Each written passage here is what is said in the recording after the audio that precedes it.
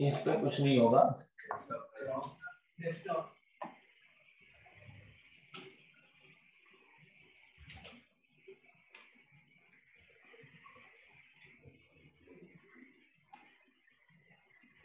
Hmm.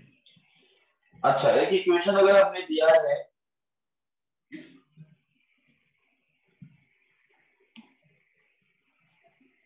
s is equal to t square plus 2t plus 1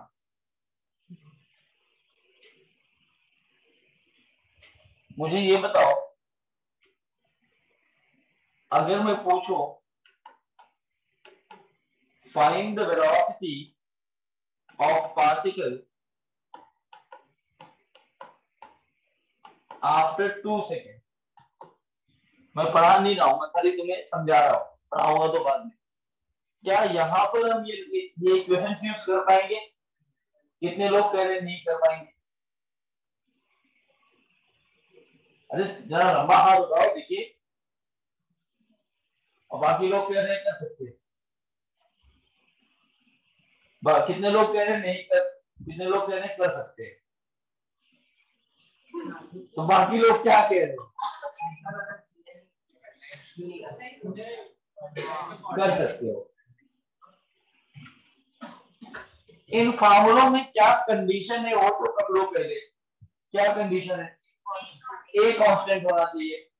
अगर ये displacement का equation है तो v क्या पड़ेगा अभी डिफरेंस है तो मैं वीडियो लिखता है इससे। मैं फटाफट से अगर इसको डिफरेंशिएट करूँ तो क्या लिखूँगा मैं? 2t 2 और एक्सेलरेशन क्या पड़ेगा हाँ? डबल डिफरेंशिएट इसको आएगा ये 2 टू वेरिएबल है क्या? टू कांस्टेंट है ना? जब कांस्टेंट सोल्यूशन तो क्यों नहीं यूज़ कर पाओगे? कर सकते हाँ। रिकमेंडेड नहीं है। मैं तुम्हें ये रिकमेंड नहीं करूँगा कि ये तुम v is equal to u plus a की ऐसे क्वेश्चन में यूज़ करो। बट लॉजिकली सोचो तो कर सकते हो। जेई एडवांस 2013 में क्वेश्चन था मल्टीपल चॉइस और एमएसक्यू आता है ना, एक साथ तीन या चार भी सही हो। एक क्वेश्चन आया था, उसके एक पार्ट में यही था, कुछ ऐसा इक्वेशन लिखा था रैंडम रफ सा इक्वेशन था, बहुत डिफ़िकल्ट था। अगर तुम उसको सॉल्व करने जाते हैं डिफरेंशिएशन से तो कभी भी नहीं कर पाते, जिसको ये लॉजिक पता है, वो फटाफट कर देगा। अगर डिस्प्लेसमेंट इक्वेशन क्वाड्रेटिक फॉर्म में है you can use your equation of motion displacement कौन से फॉर्म में है? अच्छा अगर क्वाड्रेटिक से कम है, तब भी यूज़ करोगे ए ज़ीरो हो जाएगा। लेकिन अगर ये मैं यहाँ पे मान लो टी क्यूब भी ऐड कर देता तो एक्सेलरेशन में एक टी तुम्हें मिल जाता। तब ये यूज़ कर सकते। समझ हो मैं क्या कहना चाह रहा हूँ? हमारा ये फॉर्मूला यूज़ करने के पीछे का क्या रीजन है? एक्सेलरेशन शुड बी कांस्टेंट अगर ये क्वाड्रेटिक फॉर्म में है तो भी एक्सेलरेशन कांस्टेंट ही आ रहा है। तो इसमें तुम v is equal to u plus a की भी यूज़ कर सकते हो। ये तुम्हारी कॉन्सेप्चुअल अंडरस्टैंडिंग होनी चाहिए। ठीक है? ऐसा नहीं, t देखो तो यूज़ ही नहीं कर सकते। हाँ यूज़ नहीं करेंगे, लेकिन कर सकते हो। समझा? आगे चले। तो ये तो खाली बताने के लिए था, जानते रहो। तो वही माहौल बता रहे हैं अच्छा एस क्या है इस फार्मूले में? कितने लोग डिस्प्लेसमेंट कह रहे हैं? डिस्प्लेसमेंट वाले कितने लोग हैं? पहले हाथ उठाओ। कोई नहीं है। एक, दो डिस्प्लेसमेंट ठीक है। तीन, चार, पाँच। ऐसे सोच सोच के हाथ क्यों उठा रहे हो? छह। एक और। सात। आठ, वाह। बढ़ रहा है नंबर वेरी गुड और कोई? क्रिकेट मैच देखने आता है कि यहाँ पर बनते बढ़ाते ठीक है। बस बस बस। कितने लोग कह रहे हैं डिस्टेंस है?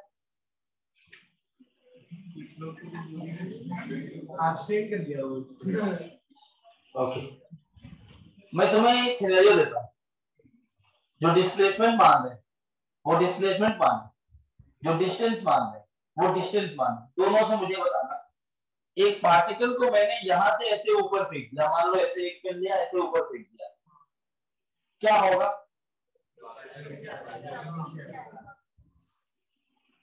क्या इस पूरे के लिए तुम इक्वेशन ऑफ़ मोशन यूज़ कर पाओगे? Are you sure about it H height नहीं। किसी भी स्पीड से पूछोगे देखोगे आएगा बहुत सारे सवाल में मैं तुम्हें ऐसे केस में फंसा दूँगा। इसलिए मैं तुम्हें कहा किसी चीज़ को मैंने ऊपर फेंका, तुमने क्वेश्चन सॉल्व किए होंगे, वो बलून के ऊपर जाता रहता है, ऊपर से एक बॉल को गिरा देता उसमें ये लगाओगे तो कभी नहीं है। सही बताया मैंने? किया है क्वेश्चन अब एच ऊपर गया तो नीचे भी एच ही आएगा, ज़ाहिर सी बात है। जो डिस्प्लेसमेंट मान रहे हैं, उस क्वेश्चन में वो क्या लिखे यहाँ पे डिस्प्लेसमेंट ज़ीरो जो डिस्टेंस मान रहे हैं, वो इसको टू एच में। और इंटरेस्टिंग बताओ तुम्हें तो it is not one dimensional motion और जो मोशन द ग्रेविटी है, वो किसके अंदर पढ़ते हो? वन डायमेंशनल मोशन में पढ़ते हो।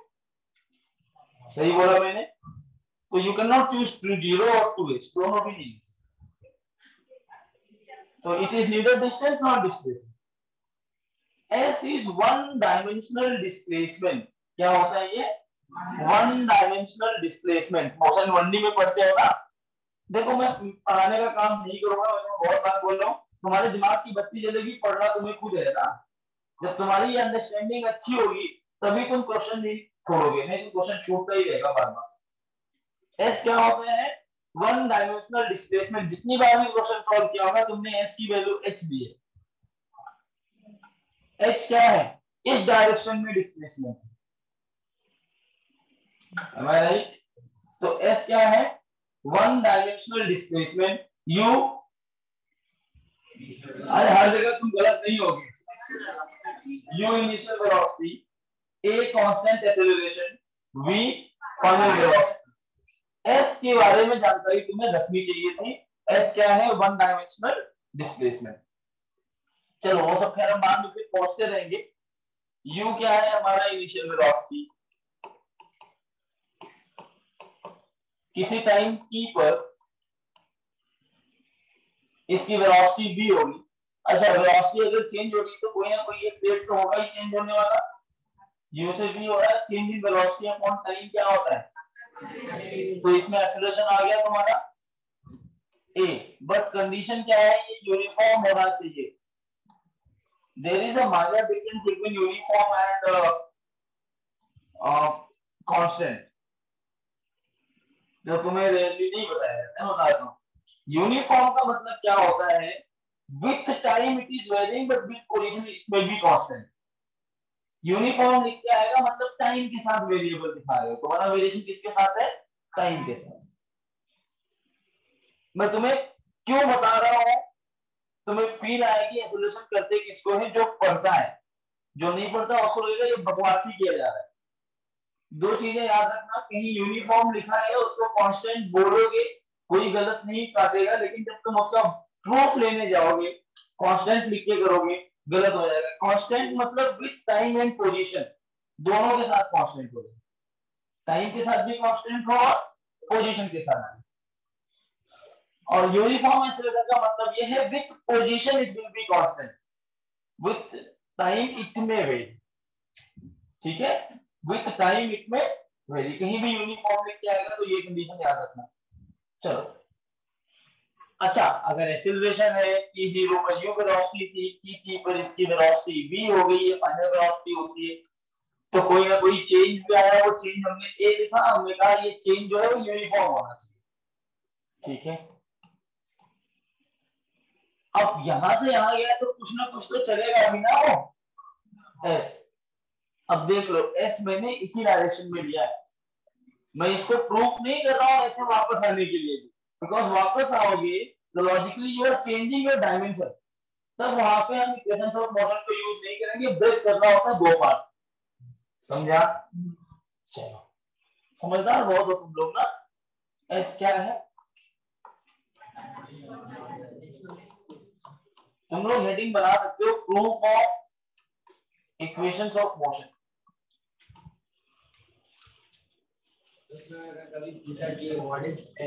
ऐसा पूछेगा one dimensional displacement it is one dimensional displacement मतलब uh, shortest distance oh. yeah the distance between initial and sorry final position and the difference between final position and initial position in the same direction in the same direction in a particular direction वही होगा one dimensional speaker नहीं आया क्या बस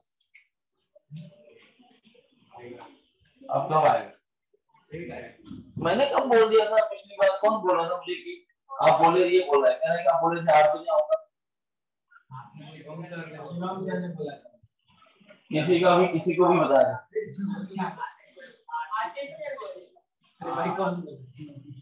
माहौल यहाँ समझ में आ गया तुम्हें।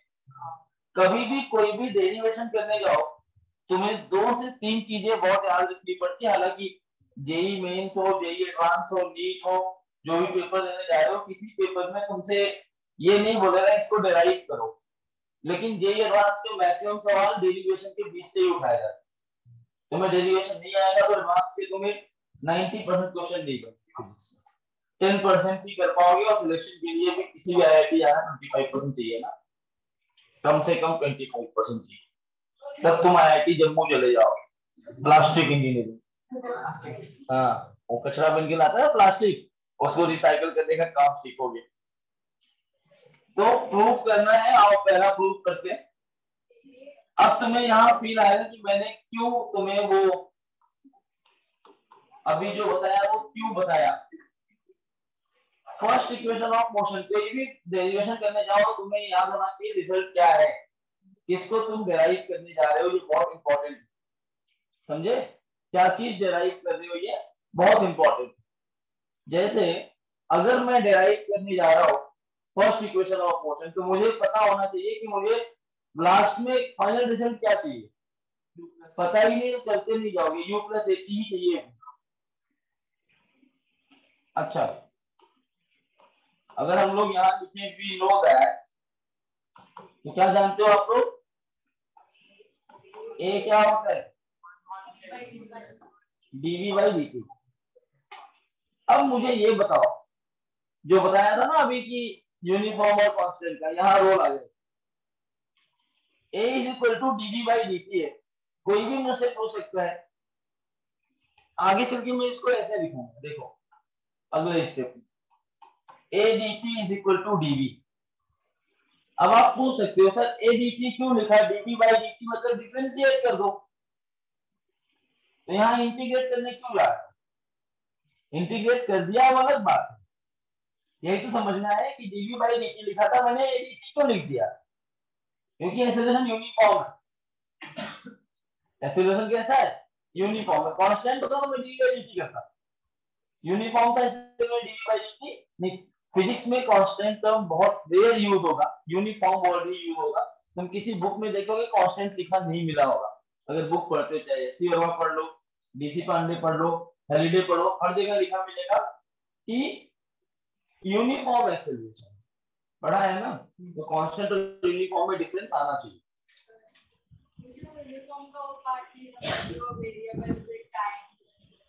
It may very with time और बाद में समझ जाएगा, इतना याद रखो आगे जैसे जैसे बढ़ोगे फील आना स्टार्ट होगा चैप्टर को ही पढ़ोगे। एकदम से नहीं आ जाता धीरे धीरे आएगा भी जानते रहोगे तो आगे तो डिफ्रेंशिएट कर पाओगे। एक साथ हम नहीं कर सकते ना।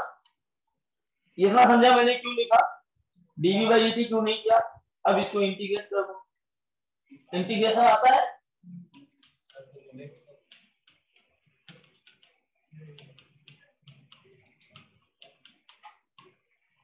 जब इसको इंटीग्रेट करोगे तो ए डी टी और डी बी मैंने लास्ट लेक्चर में भी कहा था इंटीग्रेशन की कि कोई भी हम इंटीग्रेशन कर रहे हैं, कोई भी इंटीग्रेशन कर रहे हैं तो हम दो चीज़ें ध्यान रखते हैं।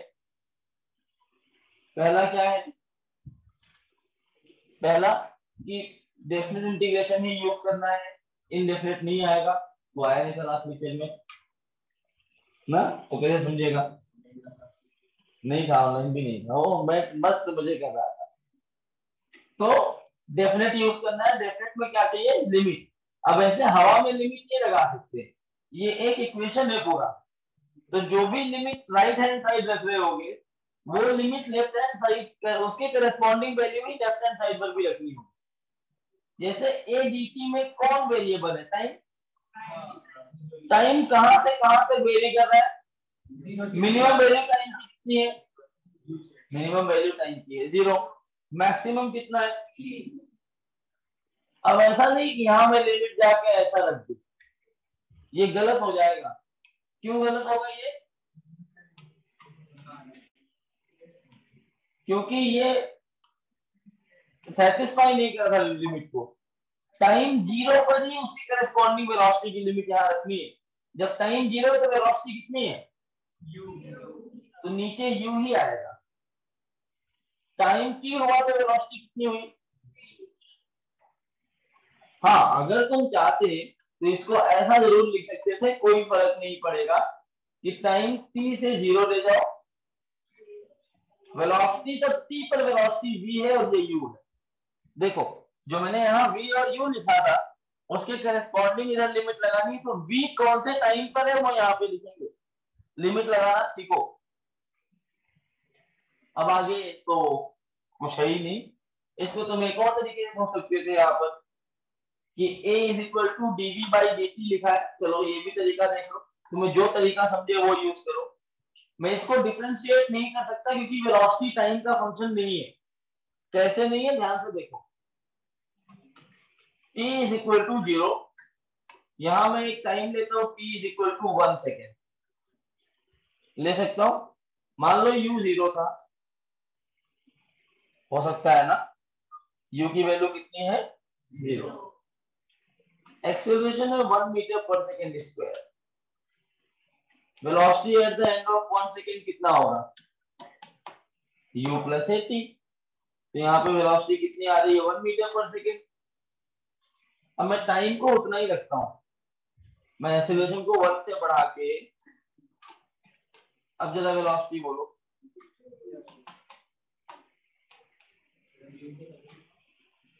बराबर? तो हमें ये दिखाना है कि dv बाई dt में टाइम इंडिपेंडेंट वेलोसिटी टाइम के इंडिपेंडेंट है मेजर फैक्टर देखते कहा वो थोड़ी है।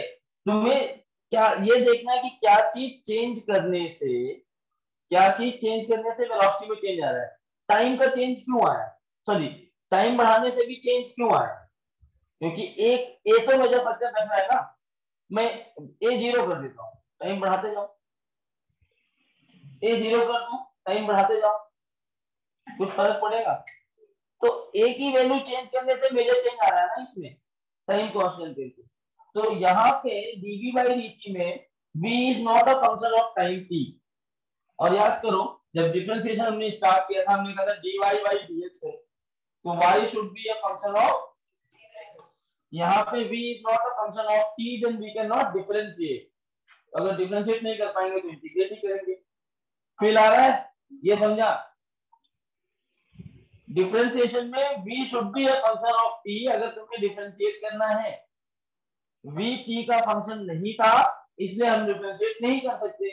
तो क्या कर सकते हो? काम खत्म। इतनी बातें दिमाग में होनी चाहिए।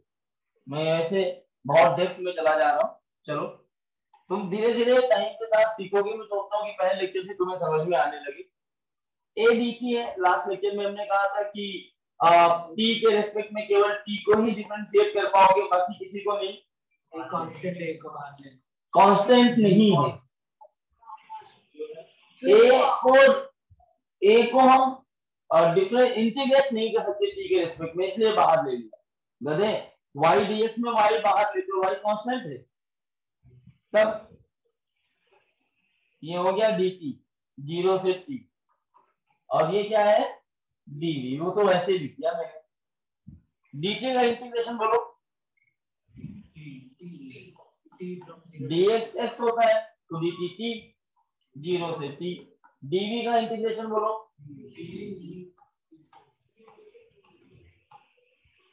बराबर? अब क्या लिमिट कैसे रखते हो? वेरिएबल की जगह पे एक बार अपर लिमिट और एक बार? तो टी और यहाँ पे? देखो तुम्हें आता हुआ दिख गया। यू को इधर ले आओ तो माइनस यू इधर आके प्लस यू बनाएगा।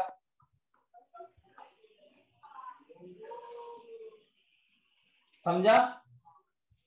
इसका बहुत सारा और मैथमेटिकल भी प्रूफ है ग्राफिकल प्रूफ है। प्रूफ करने हम नहीं बैठे। यहाँ पे इसलिए करते हैं हमें कॉन्फिडेंस आता है कि इंटीग्रेशन का रोल क्या है। गलत तो नहीं पढ़ा रहा हूँ फिजिक्स में यूज़ हो गया ना जो पढ़ा रहा हूँ। बहुत यूज़ होगा। अच्छी फिजिक्स पढ़ोगे तो इंटीग्रेशन की वजह नहीं होगा।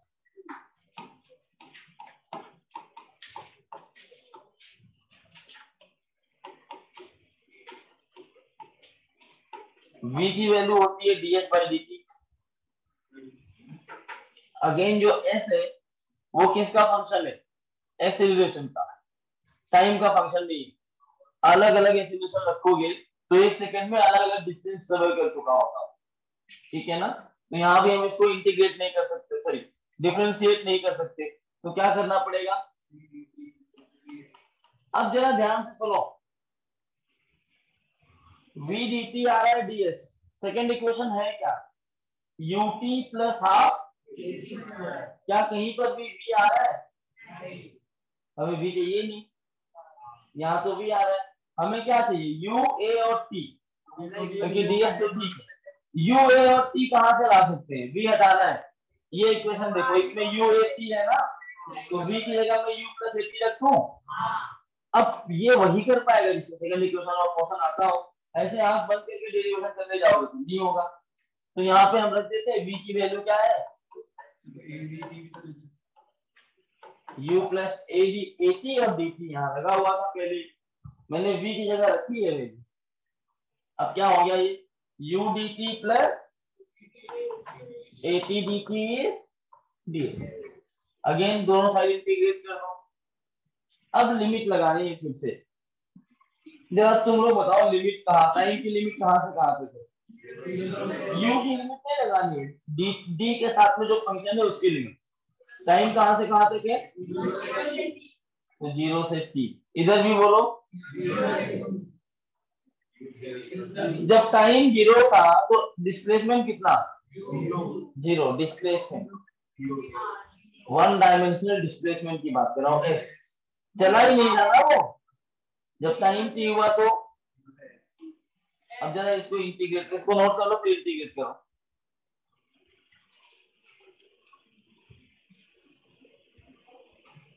इंटीग्रेट करोगे तो s is equal to u t plus half a t square मिलेगा।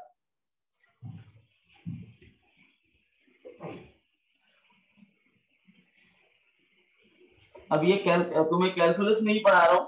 कैलकुलस के अंदर ही बता रहा हूँ ये काइनेमेटिक्स में पहुँच गया। सर बोले होंगे ना काइनेमेटिक्स में कैलकुलस वाला पार्ट में पढ़ाऊँगा तो वो साथ में चल रहा है। कैलकुलस तो लगभग खत्म ही हो गया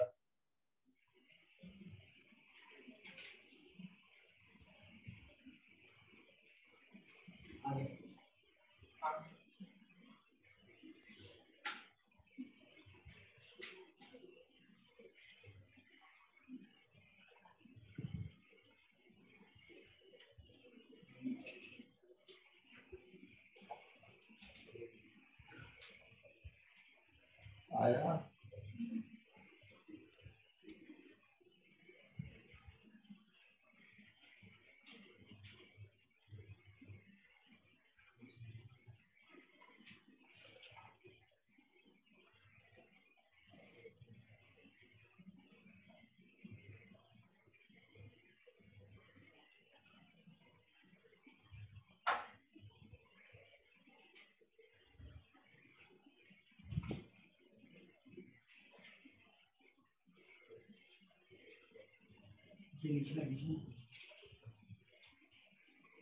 अभी गलत कर दिया ना। टी डी टी को इंटीग्रेट नहीं कर पाया सही से टी डी टी के लिए दूसरा फॉर्मूला यूज़ करना पड़ेगा। सेकेंड वाला x raise to n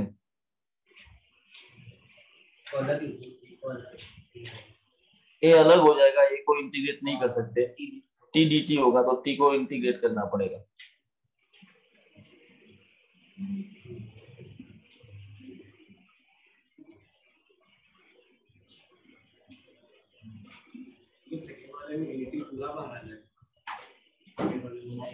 तुम टी के रिस्पेक्ट में टी को इंटीग्रेट कर सकते हो ना? नहीं भाई। ये क्या सोच रहे मारूँगा बहुत मैं। अगर ऐसा लिखा हुआ है तो इसको ये थोड़ी लिख देते हो कि d upon d x raise to minus one x या x raise to plus one नहीं लिखते ना? जैसे एक्स और एक्स कैंसिल नहीं कर सकते थे। वैसे वो टी और टी को मल्टीप्लाई नहीं कर सकते। चलो देखो। तुम लोग पागल हो ना इसलिए नहीं आए। तुम लोग सबको बाहर ले लेते हो ना? किसी को भी अंदर मत सर एक को को करना है ना? हाँ। इधर देखो ए और टी है। किसके रेस्पेक्ट में इंटीग्रेट करना है? टी के रेस्पेक्ट में टी को तो इंटीग्रेट कर सकते हो ना? हाँ। तो टी को क्यों बाहर कर लिया? तो ये ऐसा लिखेंगे टी डी टी ज़ीरो से टी डीएस को क्या लिखते हो? तो डीएस का इंटीग्रेशन हो गया। यू डी टी का इंटीग्रेशन dt का इंटीग्रेशन टी पहले वाला फॉर्मूला है। प्लस ए जब इसको इंटीग्रेट करोगे तो पहला फॉर्मूला नहीं लगा पाओगे। अब दूसरा वाला लगाओ x raise to n dx x raise to n plus one upon तो t पावर वन कितना होगा? t raise to one plus one upon आ गया टू लाओगे तो दौड़ता हुआ है अपने मन से नहीं आएगा। ठीक है? U t minus zero plus a t square by two zero से टी और ये एस तो ये कितना टी प्लस ए लिमिट कैसे रखते हैं? बताया था मैंने वेरिएबल की जगह पे लिमिट रखी जाती है। वेरिएबल कौन है? टी तो टी की जगह एक बार अपर लिमिट रखो टी और बाकी सब ऐसे लिखा दो। माइनस टी की जगह लोअर लिमिट तो ज़ीरो है। प्रैक्टिस करनी पड़ेगी और करते रहो। तो ये आ गया एटी स्क्वायर बाई टू या मैं ऐसा लिखू one by two a t square कोई परेशानी? है तो बता देना।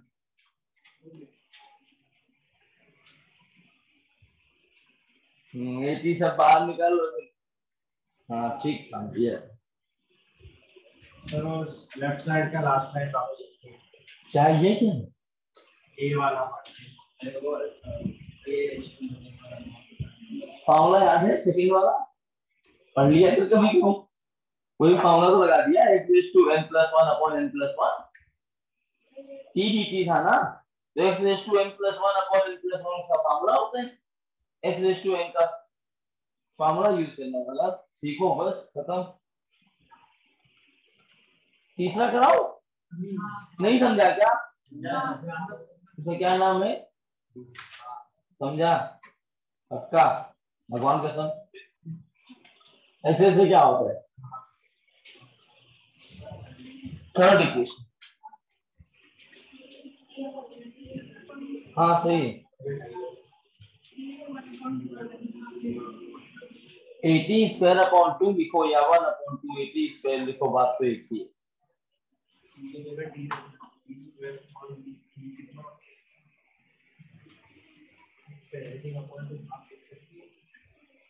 ऑनलाइन वालों, तुम्हें समझ में आ रहा है? देवांश, तू क्यों ऑनलाइन बैठ गया?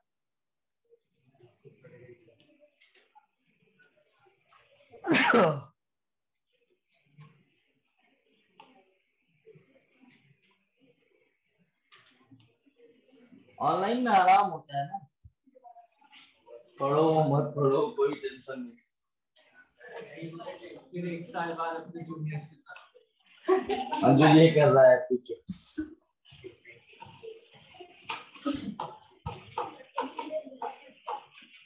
Third equation of motion third equation of motion क्या था? A is equal to dv by dt. तुम अच्छा पढ़ रहे हो, तुम्हें फोर्थ भी करा। जल्दी भी कराता हूँ। S t h u plus half a two t minus one s n और तुम लोग टी की जगह एन पढ़े थे half a two n minus u plus half a two n minus one पढ़ा होगा थर्ड इक्वेशन होता क्या है?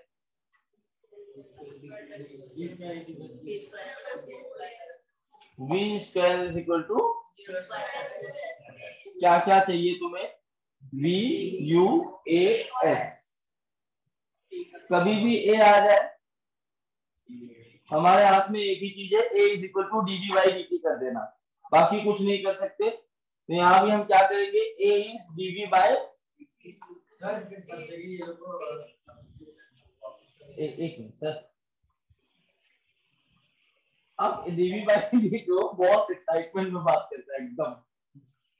तो वो कौन सा इलेक्ट्रॉन होता है? एक्सेस इलेक्ट्रॉन हाँ। नहीं एक्सेस इलेक्ट्रॉन जो होता है, वही तो जाता है अलग अलग जगह पे, जब जब वो हायर ऑर्बिटल से लोअर में आता है तो इतनी एनर्जी रिलीज़ कर देता है। यही था ना? वो आता है मुझे।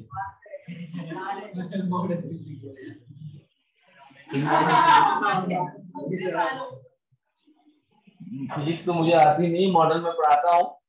मैं पढ़ाया? मैं नहीं पढ़ाया कभी भी, आज तक, मज़ाक नहीं कर रहा हूँ। पहली बार इनकी मैच में ट्राई मारा। अच्छा रिस्पॉन्स गया, लेकिन पढ़ाता नहीं मज़ा नहीं आता। केमिस्ट्री आ जाती है तो मैं ना मतलब उतना ही, मैं तुमको बताता भी हूँ, भाई केमिस्ट्री आ जाएगी तो मैं उतना ही पढ़ा पाऊँगा जितना बुक में लिखा है। उसके अलावा कोई तो मारूँगा इसलिए पढ़ाता ही नहीं भाई, पढ़ाने का मतलब है मास्टर लो उस टॉपिक डीवी बाई डी हमें टी तो चाहिए नहीं। ये लगाएँगे तो क्या आएगा? डीवी बाई डी हमें क्या चाहिए? समझो? मैं तुम्हें ये दिखाना चाह रहा हूँ कि हम लोग प्रूफ कैसे करते हैं? ए तो चाहिए मतलब ये तो लगाना ही पड़ेगा। लेकिन हमें क्या नहीं चाहिए? टी नहीं चाहिए। मतलब हमें टी हटाना पड़ेगा। टी हटाने का कोई तरीका? ऐसा कुछ नहीं दिख रहा, जुगाड़ लगा। टी ऐसे नहीं लगाता आप पाएँगे टी की, ऐसा नहीं कि टी को निकाल के फेंक दो ऐसा लगा दो। कुछ जुगाड़ लगा क्या जुगाड़ है? अगर मैं इसमें डीएस अपॉन डीएस से मल्टीप्लाई कर दू तो एस भी मिल गया हमें। s तो मिल गया लेकिन हमें t हटाना भी है। t कैसे हटाते हैं देखो। अगर इसको स्लाइड हम लोग ऐसा इंटरचेंज कर दे तो ये क्या लिखोगे? Ds by d t ds by d t क्या होता है? ये देखो। डीएस बाई डी टी भी होता है। तो हम इसको क्या लिख देंगे? a is v dv by, अब बताओ।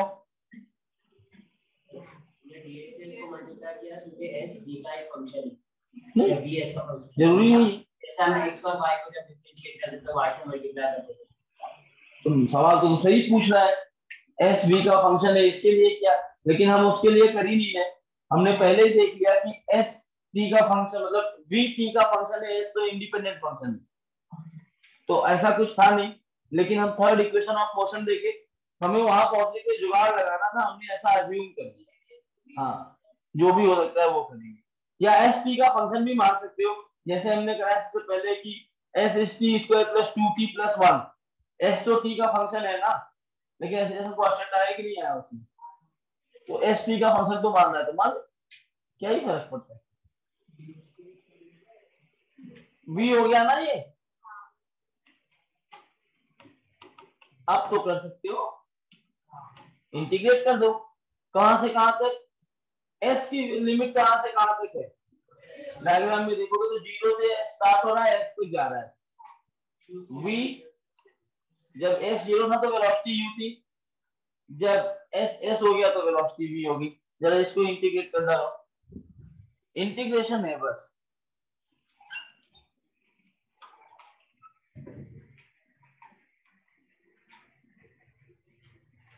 पंकज एक चाय बोल दो यार। नहीं सुबह कल खा गया तो एक चाय बोल दो बस।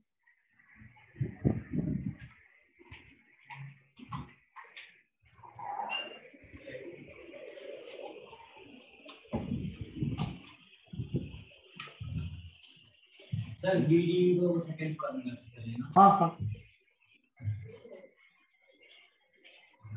डीवी रहेगा, तभी हम फ़र्स्ट फार्मूला यूज़ करेंगे, नहीं तो सेकेंड ही यूज़ करते हैं।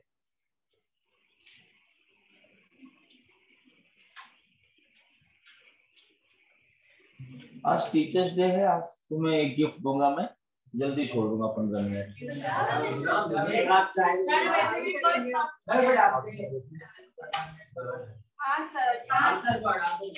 मेरा टेन थर्टी को बोरी वाली लेक्चर इलेवेंथ का और दस बजे यहाँ से छुटूँगा तो मैं पहुंचूँगा नहीं टाइम मार्जिन लेके चलना चाहिए थोड़ा सा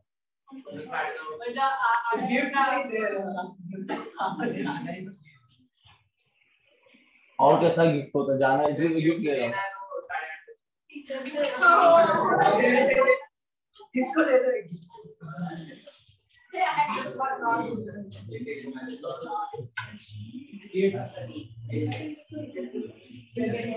और मारो तुझे फिर से?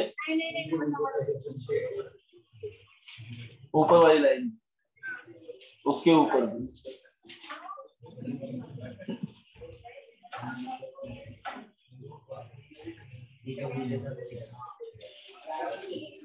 क्या? यार नीचे से ले आ दो भाई साहब ग्यारह बजे तक मैं मर जाऊँगा।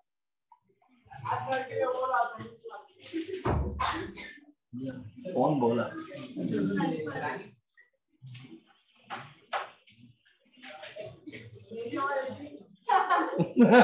वो बता भी रहा है। पकड़ लो आवाज़।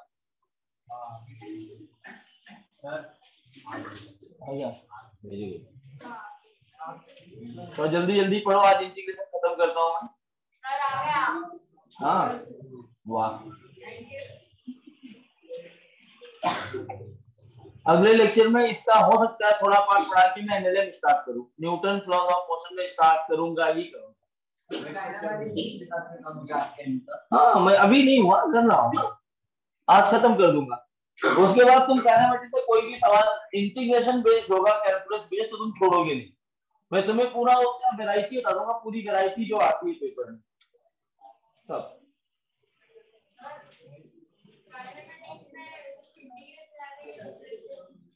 क्यों नहीं आएगा? डिफरेंशिएशन भी आएगा? तो किया था ना एओडी में उसकी क्वेश्चन तो पहले ही कर दिए ना? डिफरेंशिएशन में किया था। है अभी और फार्मूले हैं। मतलब मैं ऊपर टुकड़ी में करा था। नहीं अरे मेरे हाँ सही। दोनों पर सेम डिनोमिनेटर है तो क्रॉस मल्टीप्लाई कर देना और फिर टू को। इधर देखो ए बच्चों, आप लोग कोई रिस्पांस नहीं दे रहे हो आज। ए बाहर निकालोगे डीएस ज़ीरो से एस वीडीबी क्या लिखोगे?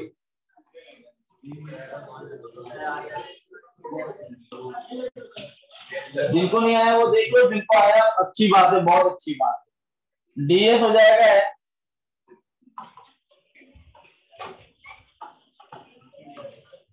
अब कौन वेरिएबल इसमें? वी तो लिमिट रखना हमारा काम है। लिमिट रखना आता है ना, अभी? मैं ऐसे रख दे रहा हूँ। इसको मैं लिख सकता हूँ v square minus q square upon two two को इधर भेजो। यू स्क्वायर को भी इधर ले आओ।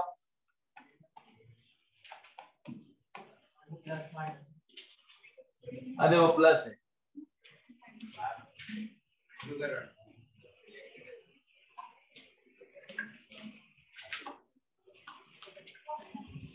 समझा? वेरी गुड कितने लोगों को सही आ गया? कितने लोग बिल्कुल पहुँच गए? मतलब सबको आ रहा है। तू भी नहीं आ रही दो तीन पिक्चर लास्ट में ना? अच्छा किया था हमने?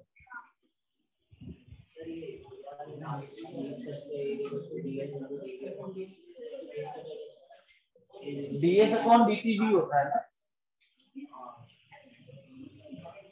देखो, मेरे से ना एक बहुत कमी है मेरे अंदर। अप्रिसिएशन में अप्रिशिएट तो कर ही नहीं पाता। और ये उम्मीद मत रखना कि मैं अच्छा करके आऊँगा, सर बोलेंगे बहुत अच्छा पढ़ने में। तुम अच्छा करके आओगे तो मैं ये कोशिश करूँगा तुम्हें फंसाओगे कैसे? फंसाने के लिए ये नहीं तुम्हें आउट ऑफ़ सिलेबस जाके फंसाऊँगा।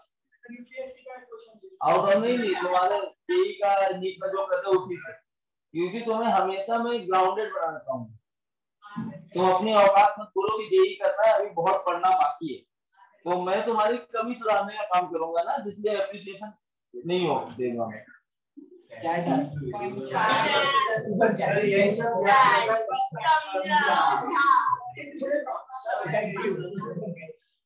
ओके सोना चलो। एक अच्छा वाला। चौथा वाला इक्वेशन सर बोल दो ना अब आप ऐसे निकाला कर सर बस तो स्टार्टिंग का फॉर्मूला लिख के दो बात और मैं सब लिख के दूँ बाकी सब तुम करोगे क्या था इंटीग्रेशन करोगे?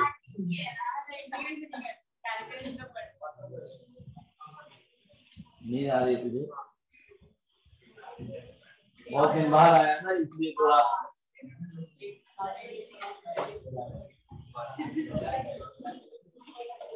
अब आप कब तक बैठेंगे महोदय शाम तक हाँ पाँच बजे किसका लेक्चर है तुम्हारा मेडिकल चल रहा है ना?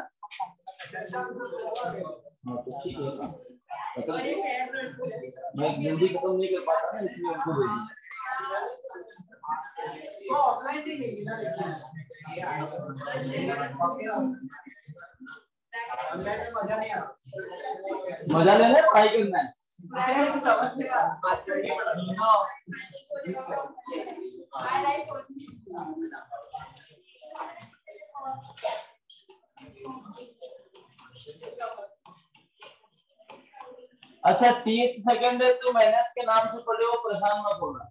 एन तो टीथ दोनों एक ही चीज़ है ना वो? एन लिख दो यहाँ पे टी की जगह पे काम करता हूँ।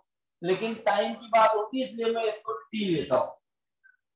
ये कभी यूज़ करते हो? Third second fifth second ninth second ऐसे ऐसे क्वेश्चन में यूज़ करते हो ना इसको? चलो। इसको प्रूव करने के पहले मैं हम लोग कुछ काम करते हैं।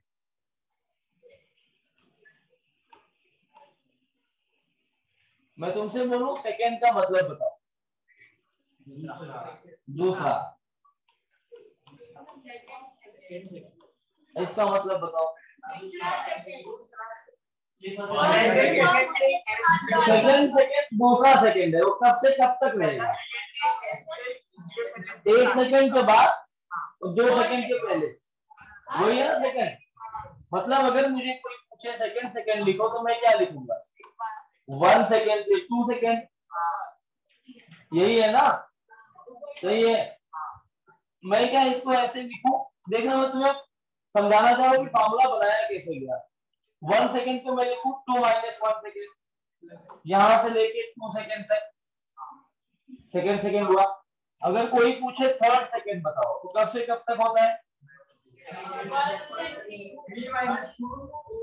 दो से तीन के बीच का टाइम तो दो से तीन के बीच का टाइम कब होगा?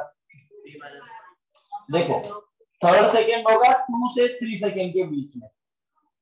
टू सेकेंड मतलब थ्री माइनस वन बराबर? फोर्थ सेकेंड बताओ।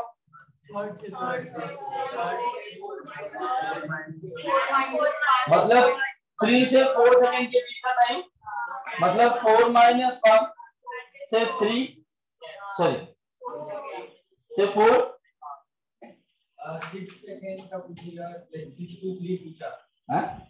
थ्री टू सिक्स पूछा मतलब सेकेंड तो उसमें ये फॉर्मूला नहीं यूज़ कर पाओगे थ्री टू सिक्स ये पर्टिकुलर सेकंड के लिए यूज़ कर सकते हो बस। फोर्थ सेकेंड मतलब ज़ीरो मतलब ज़ीरो से लेके फोर्थ सेकेंड तक जाना है। फोर सेकेंड का मतलब है ज़ीरो से फोर फोर्थ का मतलब है थ्री से फोर जब चौथा शुरू हुआ काउंट कब करोगे फोर्थ को? जब तीन खत्म होगा तभी ना? स्कूल में बैठ के हम थोड़ी बोलते थे कि फोर पीरियड होगा। हम फोर्थ पीरियड कब से कब तक था? थर्ड खत्म हो गया, तभी फोर्थ चालू होगा। ठीक है ना? तो फोर्थ मतलब होता है किसी एक पर्टिकुलर टाइम इंटरवल में वो एक ही सेकंड का गैप होगा। ये फॉर्मूला तभी यूज़ कर पाओगे। जैसे लास्ट सेकंड में पूछे। सर बट अगर बुक इंटरवल 3 to 6 में होगा तो फॉर एग्जांपल अरे वो अलग चीज़ है क्या? तुम लोग पूछते हो ऐसे फालतू फालतू वाले सवाल हो गए। हाँ तो ज़ीरो से थ्री को चला हुआ अलग बात है। हमें चाहिए तीन से चार के बीच का डिस्टेंस बस इतना याद है। भाई ये टाइम है। सेकंड लिखा हुआ है ना? तुम लोग नींद में बात कर रहे हो क्या? पूछ रहे थे। तीस सेकंड ऐसे में पूछूँ तो क्या होगा? मैं क्या देख रहा हूँ? एक पर्टिकुलर सेकंड देखना है तो सेकंड पूछा तो दो और दो माइनस एक दो माइनस वन से टू तक की बात कर रहे थे। सेकंड पूछेगा तो हमारा क्या काम हो रहा है? कब से कब तक की बात होती है ये? टी माइनस वन से टी सेकंड समझा? आ जाओ आगे। अब ये कॉन्सेप्ट मैंने क्यों बताया? क्या काम है उसका यहाँ देखते t is equal to zero इधर है। यू वेलोसिटी एक्सेलरेशन वही है यूनिफॉर्म तुम्हारा।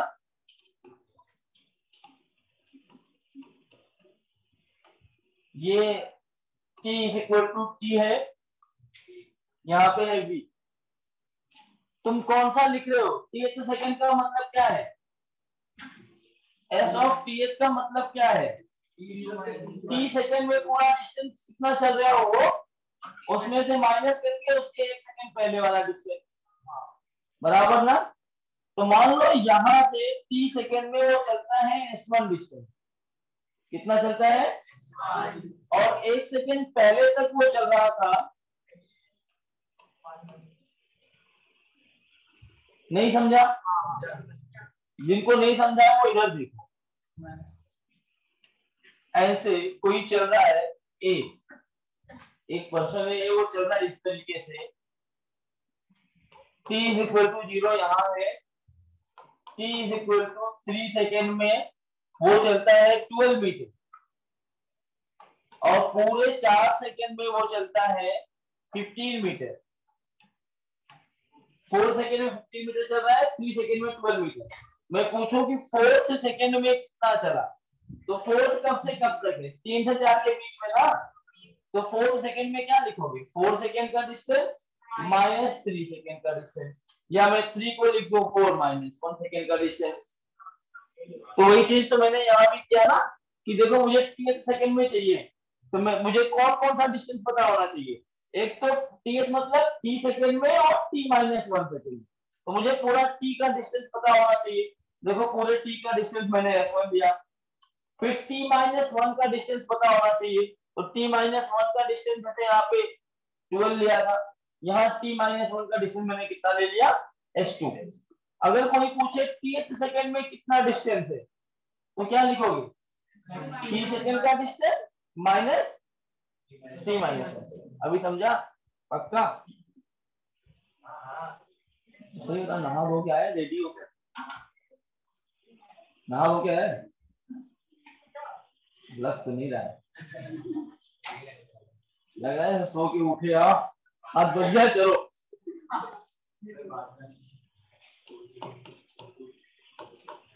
टी एच की वैल्यू होगी S one minus S two अब इसको कैसे प्रूफ करें? ये भी बहुत आसान है प्रूफ करना, बिल्कुल भी टफ नहीं है इसको प्रूफ करना। लॉजिक पकड़ लो बस। हम सब जानते हैं ना बी की वैल्यू कितनी होती है? और डिस्टेंस है तो वी उसमें आएगा नहीं यू प्लस एटी आता है। पढ़ा है ना? तो वी को हम क्या लिख सकते हैं? U plus A T D T या मैं लिखूँगा यू डी टी अरे यार, ये तो सेकंड जैसा ही बन रहा है। सेकंड में भी तो यही किया ना? कुछ अलग हुआ था क्या उसमें? सब वही हो गया। खेल कहाँ आता है पता है? लिमिट में। खेल कहाँ चेंज होगा? जब टी सेकंड में पूछा था, उसका मतलब था ज़ीरो से टी टी सेकंड का क्या मतलब था? ज़ीरो से टी अब तुम कौन से कौन से टाइम के लिए इंटरेस्टेड हो? तुम यहाँ से लेकर के यहाँ तक इंटरेस्टेड हो। तो तुम्हारी जो लोअर लिमिट होगी वो कौन सी होगी? टी माइनस वन तुम्हारी अपर लिमिट जो होगी वो कितनी होगी? तो यहाँ जब इसको इंटीग्रेट करोगे तो यहाँ जो लोअर लिमिट आएगी, उसकी वैल्यू रखना है हमें T minus one upper limit कितना? टी माइनस वन से टी कौन सा डिस्टेंस हो गया? टी एच सेकेंड सबको समझा? हो जा रहे तो टाइम की लिमिट तो यहाँ भी यही होगा। अब टाइम के करस्पॉन्डिंग डिस्टेंस की लिमिट रखनी है। जब टाइम टी माइनस वन का डिस्टेंस कितना? देखो टाइम टी माइनस वन का डिस्टेंस कितना? एस टू टाइम जब टी ओवर का डिस्टेंस कितना है? इंटीग्रेट कर लो। नोट करके। समझा नहीं समझा? फ़ील्ड लो की लिमिट कैसे लगाते हैं? अभी मैं हम लोग जो माहौल बनाए थे उससे लिमिट लगाया। ठीक है तो सेकेंड कौन सा कौन तो कब से कब तक है? टी माइनस वन से टी मतलब जो डिस्टेंस तुम निकाल रहे हो, वो डिस्टेंस की लोअर वैल्यू कितनी है? तुम्हें टी माइनस वन से टी के बीच में चाहिए ना? तुम इंटरेस्टेड हो टी माइनस वन से टी के बीच में। जो टाइम की लिमिट होगी, वो कहाँ से कहा होगी T minus one lower limit क्योंकि उसके पहले क्या है, हमसे नहीं मतलब है।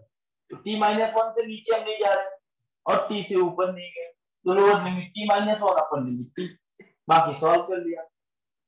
छाप लीजिए और इसको और बढ़िया सॉल्व करिए आगे। आ गया? बीमार है अभी भी। लग रहा है कि टूट गया पढ़ाई करने का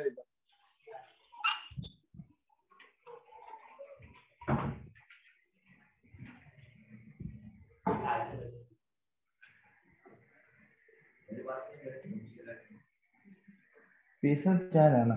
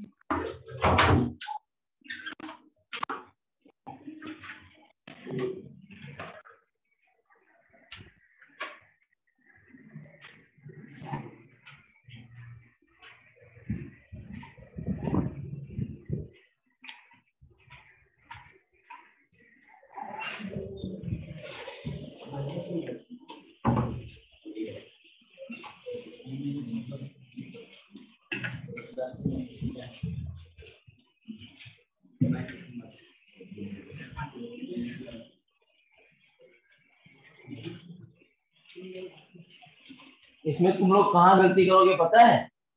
लिमिट की कैलकुलेशन में। माइनस प्लस में गड़बड़ी होगी।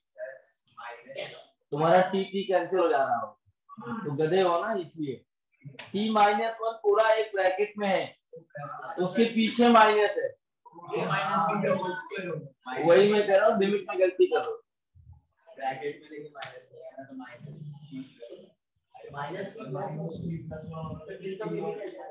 हाँ। तो एक केस में टी कैंसिल हो रहा है। सेकंड केस में स्क्वायर बनेगा।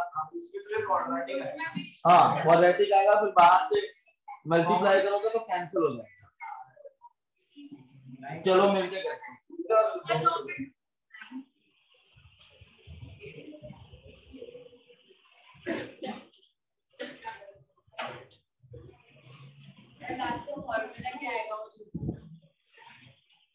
तुझे नहीं पता फॉर्मूला तू तो मैथमेटिक्स पढ़ चुकी तो याद कब करेगी?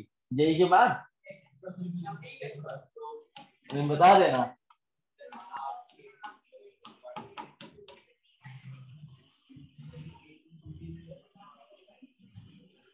अभी यहाँ तो मैं लिख दे रहा हूँ। जो वैट लिखती है वहाँ कौन लिखेगा फॉर्मूला तू लिखता है?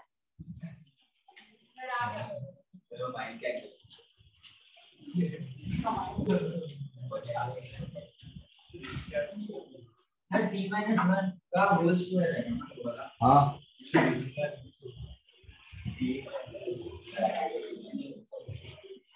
ये कैसे आ गया? किसको गड़बड़ कर दिया किसको गड़बड़ कर दिया आप बाहर निकल।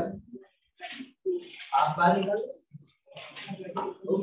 हाँ तो ज़बरदस्ती तो नहीं आ दिया फॉर्मूला हाफ़ पता निकाल के। हाँ ठीक है। आप बोले ये दोनों बाहर निकल। हमने ज़बरदस्ती तो नहीं कर दिया वो भी एक दिक्कत होती है। देख लो। जो कर रहे हैं वो करते रहे, मैं बोल नहीं रहा हूँ इसलिए, बाद में बोलूँगा।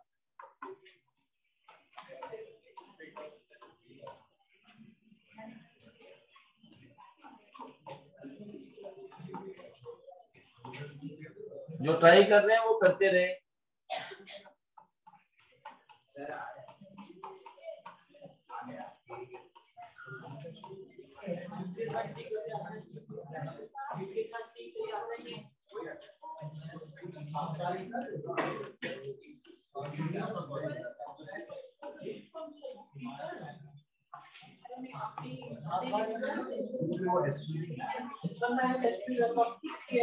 बोलना नहीं है।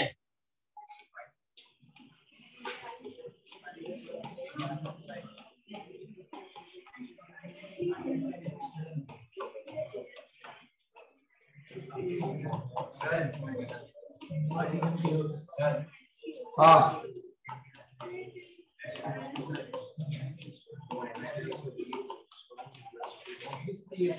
हाँ बोलो। आ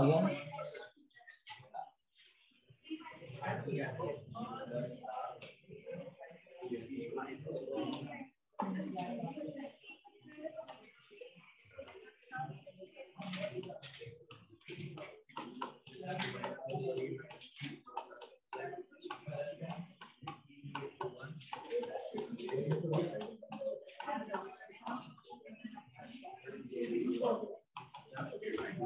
you.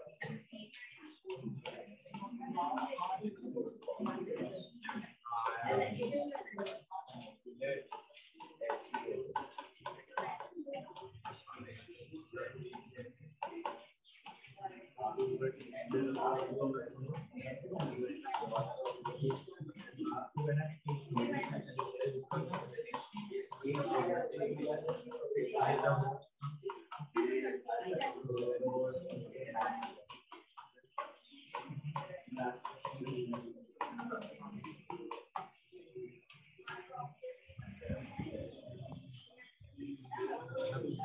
गलती हुई होगी बता रहा हूँ मैं? जब यहाँ लिमिट रख रहे होगे लिमिट रखने में गलती हुई पहली चीज़। लिमिट कैसे रखना? देखो जो, पूरा पार्ट टी माइनस वन है, वो एक ही टर्म है। टी की जगह पे टी माइनस वन रखोगे तो पूरे का स्क्वायर आएगा तो टू टू दोनों में था, मैंने टू कॉमन ले लिया बाहर। तो वन बाई टू बाहर आ गया। T square A minus B two का होल स्क्वायर यहाँ पे लगा दिया। और बाकी कैलकुलेशन यहाँ तक तो पहले वाला केस है जब तक लिमिट नहीं रखा है, तब तक तो पहले वाला केस ही कर रहे v equal to D S by D T वाला। कहा गलती हुई थी? सर मेरा सही वो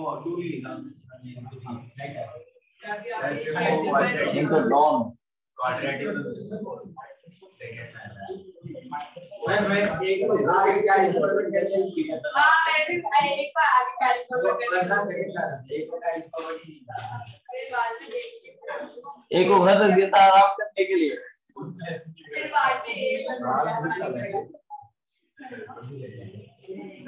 तुम्हें तो समझ में आएगा जिस दिन मैं नहीं लूँगा बेटा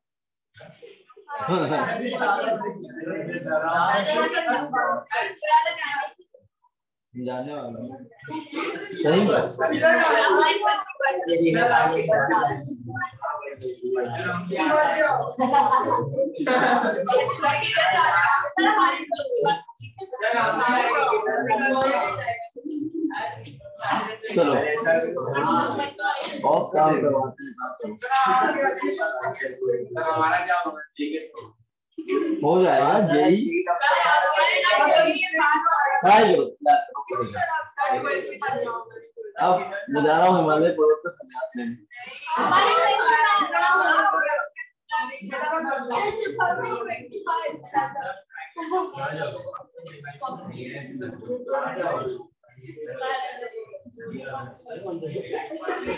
हाँ। अभी तुम्हारा ये, सर है ये भी फिजिक्स पढ़ाएँगे तुम्हें ठीक है? अभी मेरे लेक्चर के बाद में तुम्हें वेक्टर्स के ना वेक्टर्स के तुम्हारे पास वो है ना पूरा दैट मैथ जो भी पेपर हुए। मैथमेटिकल टूल्स की डीपीपीज है। नहीं लाने बोला था जब भी डाउट सॉल्विंग सेशन होगा तब के लिए वो सारे जो तुम्हारे डाउट्स होंगे ना डीपीपी करते हो डाउट होता है। अब अकेले नहीं करोगे सर रहेंगे तुम्हारे साथ। ठीक है? तो जो भी डाउट है एट द सेम टाइम तुम डाउट क्लियर करवा सकते हो। आज आप साढ़े नौ बजे मतलब नाइन फोर्टी फाइव को इधर इनका लेक्चर है। पंद्रह मिनट ब्रेक दे दो इनको। दस बजे से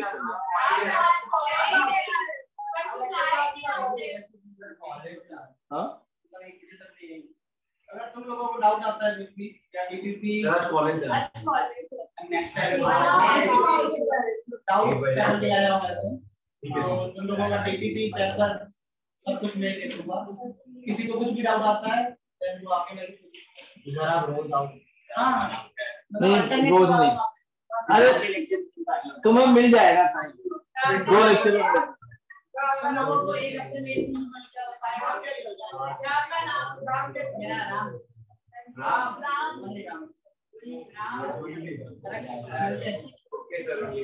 अरे। हेलो। कहाँ से? अच्छा हाँ सॉरी तो यहाँ क्यों आ रही थी तो खत्म होने वाली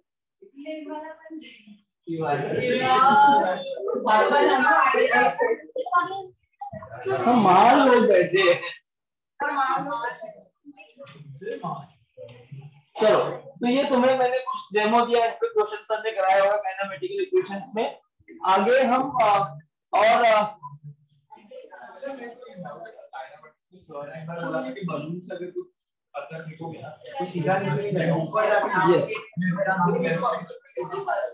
बता बता क्या होता है बलून के अंदर अगर हो तुम ऊपर जा रहे हो मतलब जो ए हेलो जो बैलून का एक्सेलरेशन है वो तुम्हारे पास भी है जो उसकी वेलोसिटी है तुम्हारे पास भी है पत्थर भी उसके अंदर था इनर्शिया नाम का एक चीज़ पड़ा है कि जब तक कोई एक्सटर्नल फोर्स ना लगाओ वो अपने डायरेक्शन को चेंज नहीं करता। फोर्स लगाने के बाद भी उसके पास एक मोमेंटम होता है। जैसे ही गाड़ी चल रही है, तुमने एक्सलेशन खत्म कर दिया। अभी एक्सलेटर से पैर उठा के ब्रेक पे लगा रहे ब्रेक लगाने का ये मतलब नहीं कि तुरंत रुक जाएगी। उसके पास मोमेंटम है, उसके मोमेंटम को कम करना पड़ता है। जब पत्थर ऐसे ऊपर जा रहा है तो गुब्बारे के अंदर जो बैलून था, उसके पत्थर भी है, तुम भी बैठे जब तुम नीचे ड्रॉप किए तो जब ड्रॉप करने के टाइम पे जो वेलोसिटी बैलून की है, वो वेलोसिटी पत्थर के पास भी है। जैसे ड्रॉप किया, उसके ऊपर ग्रेविटी आई। बट मोमेंटम भी है उसके पास। बलून ऊपर जा रहा था, पत्थर भी ऊपर जा रहा था। एक्सीलरेशन लगा, लेकिन मोमेंटम से पहले ऊपर जाएगा रिटार्ड होगा वो। जहाँ मोमेंटम उसका ज़ीरो हो गया, उसके बाद ग्रेविटी नीचे इसलिए ऊपर जाता है। तो सर सर मेरे ऐसा क्वेश्चन था कि ट्रेन जब एक जा रही है तो उसमें से अगर कॉइन को ऊपर टॉस तो वो डायरेक्ट स्ट्रेट पाथ में गिरेगा या थोड़ा उसको मोमेंटम देना And now it depends upon the conditions observer जो दो मैं बोलूँ वो रेफरेंस पॉइंट पर डिपेंड करता है। अब अगर मैं बाहर प्लेटफॉर्म पे खड़े होकर देख रहा होगा तो ट्रेन ऐसे जा रही है कॉइन को ऐसे फेंका है। तो मेरे लिए जो पाथ होगा ये वाली वेलोसिटी भी मेरे पास आ रही होगी ये वाली वेलोसिटी भी आ रही होगी। तो मेरे लिए जो पाथ होगा वो ऐसा कुछ होगा। हम परफेक्ट पैराबोला नहीं बनाएगा क्योंकि इस डायरेक्शन में भी एक्सेलरेशन है। तो सर आप ट्रेन में खड़े हैं, तो कैसे गधे सुन तो लो तुम पूरी बात खत्म तो करने दो पहले। ये देखो ये ट्रेन इस ट्रेन में इधर वंश खड़ा है।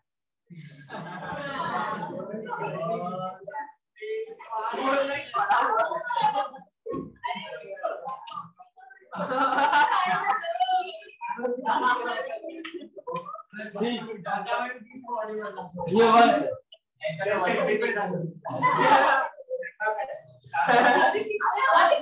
यहाँ इसके हाथ में बॉल है। और ट्रेन ऐसे चल रही है अब अगर कोई चीज़ को ऐसे ऊपर फेंकोगे, जब ऊपर फेंका मैंने तो ग्रेविटी अकेले काम कर रही है इसके ऊपर? बराबर? किसके लिए? वंश के लिए कि ट्रेन में खड़ा है। ट्रेन में खड़ा है ना तो उसके ऊपर ग्रेविटी काम कर रही है। मैं बाहर प्लेटफॉर्म पे देख रहा हूँ ट्रेन ऐसे चल भी तो रही है ना। तुमने यहाँ उछाला। लेकिन मैं देखूँगा जब एक्चुअली उसके ऊपर ग्रेविटी काम कर रही है ऊपर जाके नीचे ही आ रहा है। लेकिन ट्रेन भी चल रही है ना तो ट्रेन पहले यहाँ थी। जब ऊपर फेंके तो ट्रेन ऐसे ऊपर थी। अरे यार जब तुम बॉल को ऐसा रिलीज़ किया ऊपर की तरफ़ तो क्या हुआ? ट्रेन यहाँ खड़ी थी। चल रही थी मतलब यहाँ से पास। जब वापस तुम्हारे हाथ में वो बॉल आ रहा है ना तो ट्रेन वहाँ पहुँच। तो मेरे लिए ये वाला पास तो हुआ नहीं। मेरे लिए मुझे कैसा दिखेगा पास ऐसा? तो पैराबोलिक पास कंप्लीट तो नहीं बनेगा अगर उसमें एक्सेलरेशन है लेकिन कुछ पैराबोला जैसा ही बनेगा। प्रोजेक्टाइल पास बोल सकते हो उसको। दोनों आंसर ट्रेन पे था तो स्ट्रेट लाइन ट्रेन पे है तो straight line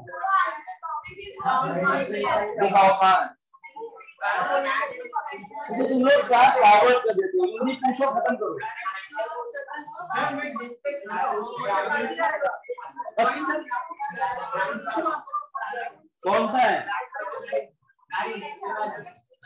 stone is just release from the window of a train moving along electric state track the stone will hit the ground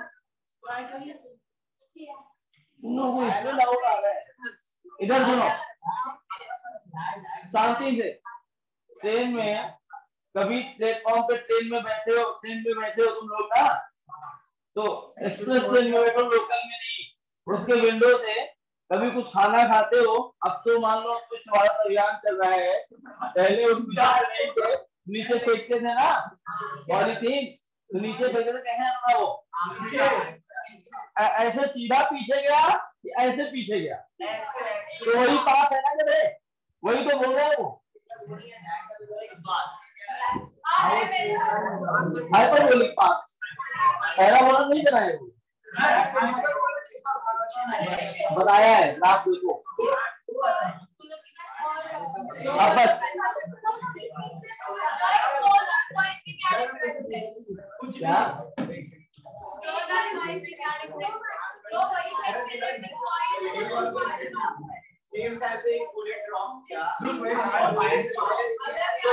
तो भाई मुझे पढ़ाने दो। कौन था? हाँ। तो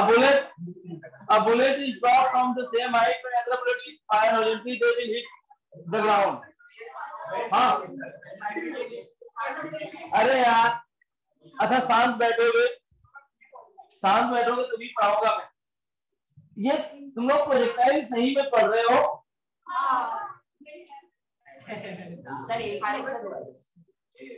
तो एक लेक्चर सफिशियंट है। हाँ। इधर देखो। ये एस हाइट से एक बुलेट को एक एक प्लेस देखो ना भाई। यहाँ से तुमने इसको रिलीज़ किया ड्रॉप कर रहे हो यहाँ जब इसको यहाँ से ड्रॉप करोगे, नीचे आने में कितना टाइम लगेगा? तो इसके लिए हम यूज़ करेंगे। S is equal to U T plus half A T square A नीचे काम कर रहा होगा जी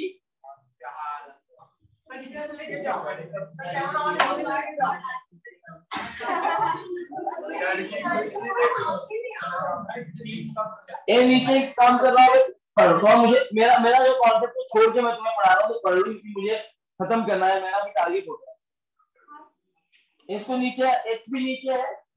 तो क्या मैं फॉर्मूला ऐसे लिखूँगा minus H is U zero T plus half minus G T square तो minus H is minus half G T square ये कैंसिल हो गया। यहाँ जब इसको सॉल्व करोगे टाइम कितना आ रहा है? जो मुझसे डाउट पूछने आए थे प्रोजेक्टाइल में वहाँ पढ़ा रहा था। उसमें मैंने ये टाइम दिया था पहले ये कौन सा टाइम है? जब तुमने यहाँ से ड्रॉप किया तो नीचे पहुँचने में कितना टाइम लगा उससे root two H by G इसी हाइट से एक बॉल को ऐसे फेंक दो। किसी वेलोसिटी यू से हाइट तो वही है ना। मैंने कहा था, कभी भी टाइम निकालना है तो क्या करते हैं? अब यहाँ पर हम हॉरिजॉन्टल और वर्टिकल बना लेंगे क्योंकि इसमें ग्रेविटी नीचे काम कर रही है। तो इसमें इधर यू है वर्टिकली कोई वेलोसिटी नहीं है। वर्टिकली कोई वेलोसिटी है। एक्सेलरेशन हॉरिजॉन्टल ज़ीरो है, यहाँ पे एक्सेलरेशन माइनस जी है टाइम यहाँ पे कितना है? मान लो टी वही तो निकालना है। नीचे गिरने का टाइम और एस की वैल्यू माइनस है क्योंकि नीचे आना है। इधर भी कर सकते कि हमें काम नहीं, हमें वर्टिकल चाहिए ना। वर्टिकल डिस्टेंस ये रहा। तो वर्टिकल के टाइम ऑफ़ फ़्लाइट निकालने के लिए वर्टिकल डिस्टेंस निकालते हैं। देखो, यहाँ पर भी अगर मैं ये फॉर्मूला यूज़ करूँ वैल्यूज़ देखना माइनस है zero T minus half T T square इसको भी सॉल्व करोगे। दोनों को सेम टाइम लगा ना क्या वो वर्टिकल के जो किया था? हाँ तो टाइम के लिए वर्टिकली करते हैं। तो अभी एक्सेल अभी तो हॉरिजॉन्टल का चाहिए ना क्यों? ऐसा अरे उसने पूछा time taken to reach the ground वो तो वर्टिकल के लिए root two H by G है सर हॉरिजॉन्टल के लिए एक्सेलरेशन ज़ीरो ये जाएगा भगवान। ज़ीरो जाएगा।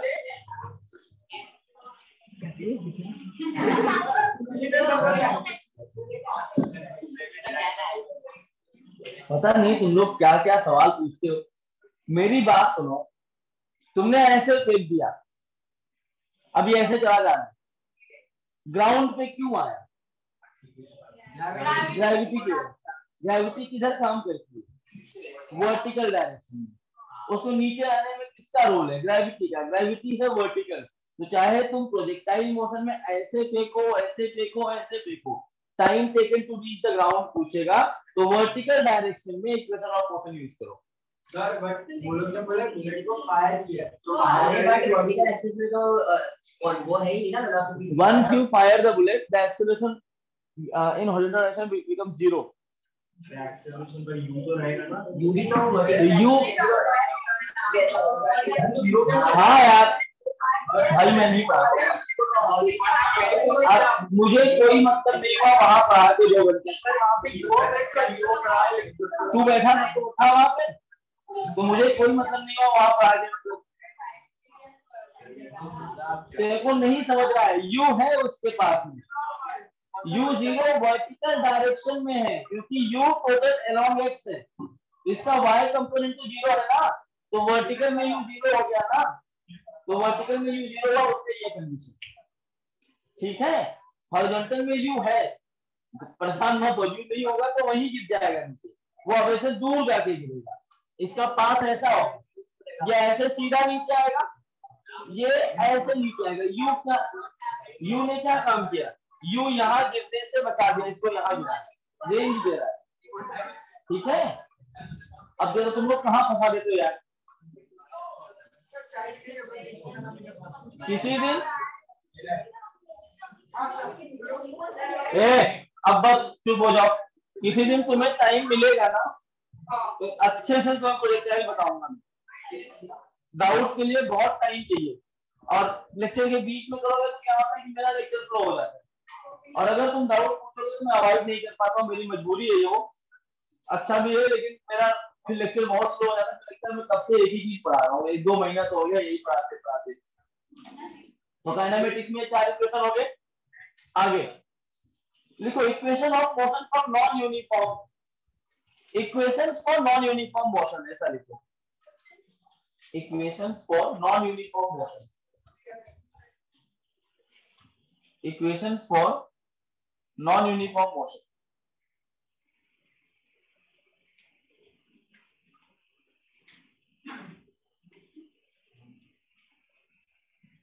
Equations for non-uniform motion. Non-uniform motion में कैसे इक्वेशन आते हैं देखो।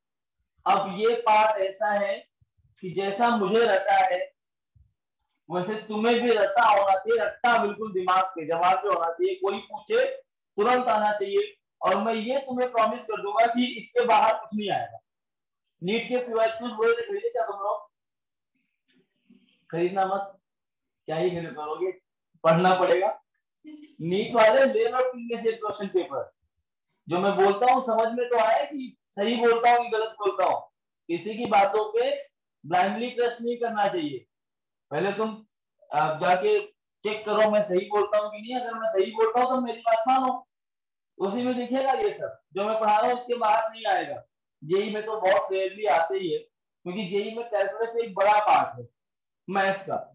तो कैलकुलस नहीं चेक करना चाहते, लेकिन नीट में वो कैलकुलस चेक करना चाहते पाँच पैटर्न है, जो फ़ंक्शन तुम्हें मिलेगा, उस पाँचों में से कोई भी एक पर ही क्वेश्चन बेस्ड होंगे।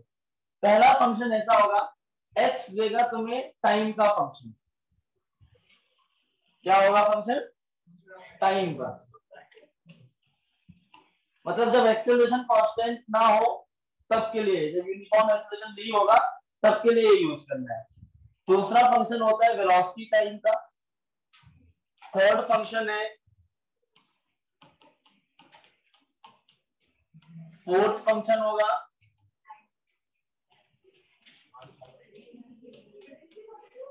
फिफ्थ फ़ंक्शन है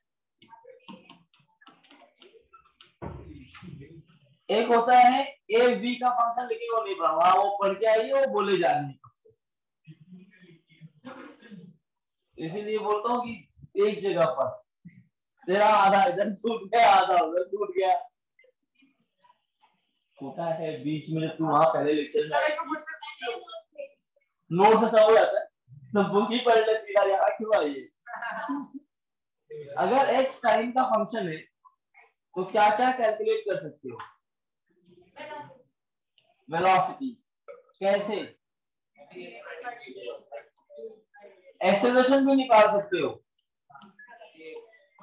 डबल डेरिवेटिव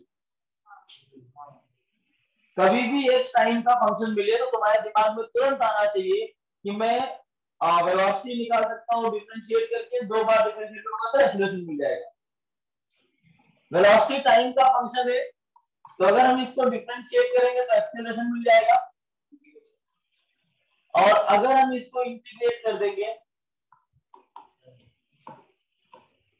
तो मुझे डिस्प्लेसमेंट मिलेगा डिस्टेंस नहीं ध्यान देना।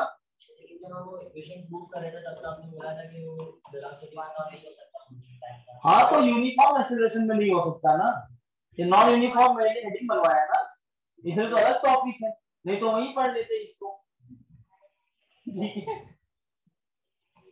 याद रखना ये कॉन्सेप्ट तुम्हें क्या देगा? तुम्हें एस वर्मा सॉल्व करोगे ऑब्जेक्टिव वन और ऑब्जेक्टिव टू है जो तुम्हें इग्नोर कर देते मत किया करो। जो तुम एक्सरसाइज सॉल्व करते हो, किसी काम का नहीं।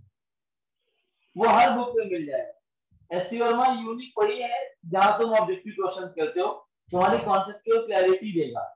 जब क्वेश्चन नंबर टू करोगे काइनेमेटिक्स में स्ट्रेट लाइन में, उसमें तुम्हें एक क्वेश्चन ऐसा दिया हुआ है कि डी मॉड ऑफ़ ऐसा। ये क्या देगा?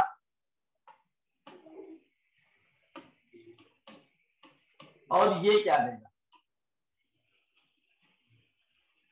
चलो, तुम्हें इसमें थोड़ी दिक्कत हो होगी, ये दिखाओ। ये अच्छा ये मैं इसी में कहा देता हूँ, क्या दिक्कत है? ऐसा लिख दो। ये क्या देने वाला है? और ये क्या देने वाला ये वेलोसिटी है तो ये तुम्हें हमेशा डिस्प्लेसमेंट देगा। मैग्नीट्यूड लिखा हुआ है मतलब ये स्पीड है। स्पीड हमेशा तुम्हें डिस्टेंस देगा। तो यहाँ से तुम डिस्प्लेसमेंट और डिस्टेंस दोनों निकाल सकते हो। लेकिन मोस्ट प्रोबेबली अगर कोई पूछे वी की क्या देगा? तो क्या बोलोगे? डिस्प्लेसमेंट ऐसी वर्मा ऑब्जेक्टिव टू करोगे? पाँच से छह क्वेश्चन इस पर बेस्ड है। हमेशा ऐसी वर्मा यूज़ करो ऑब्जेक्टिव वन और टू ज़रूर करो। बिना उसके कि आगे मत पढ़ना कॉन्सेप्चुअल क्लैरिटी आती है उसको करने से। बहुत क्लियर होते हैं कॉन्सेप्ट और जब तुम ऐसे क्वेश्चन करोगे तो तुम्हें सब आने लगेगी। अपने आप ही। हाँ, तो क्या? खाया जाता है ये चीज़? भूख लगी है? भाई कुछ खाने के लिए रखे हो? दे दो इसको। एडीटी क्या देता है तुम्हें।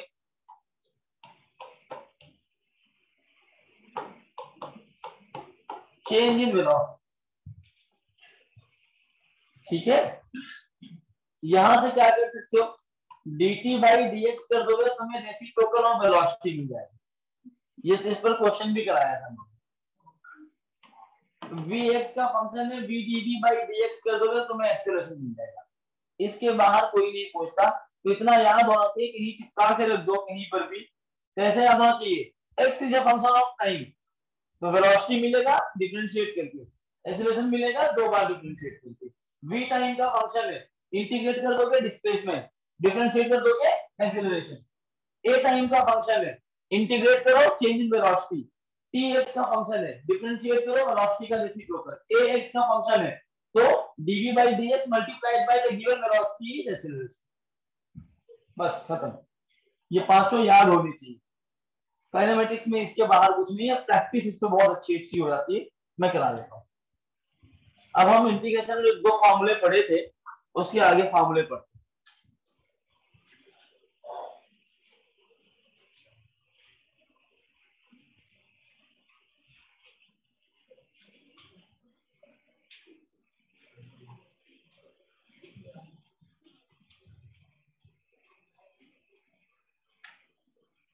एक और एक और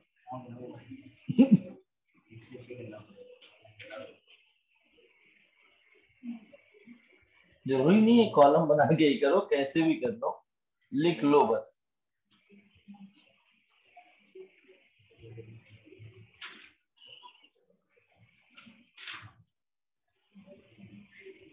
एक, दो, तीन, चार करके लिख देना।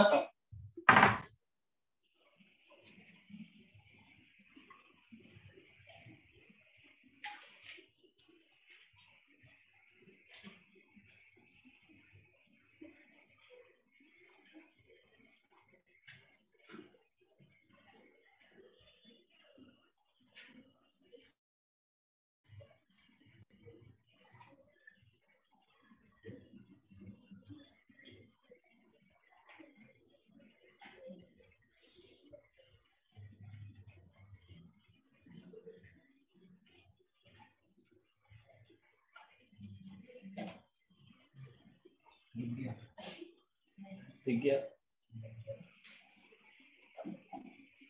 अच्छा इस क्लास में मैं सोचता हूँ कितने लोग बदमाश हैं, उनकी एक लिस्ट बनानी है कौन हेल्प करेगा मेरी? जितने बदमाश है, वो सारे हाथ खुद ही उठा रहे तो जलेबी की तरह सीधा है।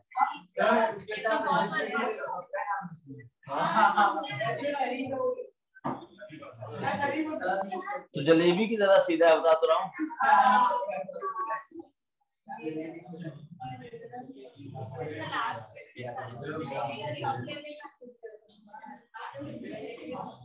अरे क्लास में ही बैठी है। बातें मत कर। पिछले 25 मिनट से पूछ ही रही है, जब से बैठी है वहाँ पे। तो लगातार पूछे ही जा रही अब मत पूछना, कल से मैं टेप लेके आऊँगा। जो बोला था चिपका दूँगा तीन घंटे के लिए।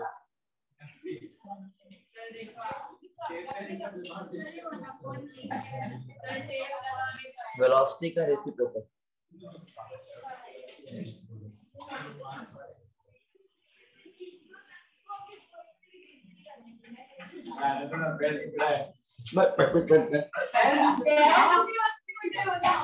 वॉक लेने जा रहा है पैर रहा है जाओ भूख के आ जाओ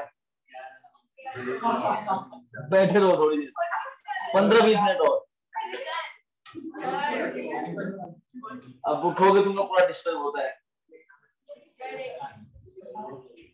अरे बाप रे आज बहुत ज़्यादा ये मैसेज आ रहे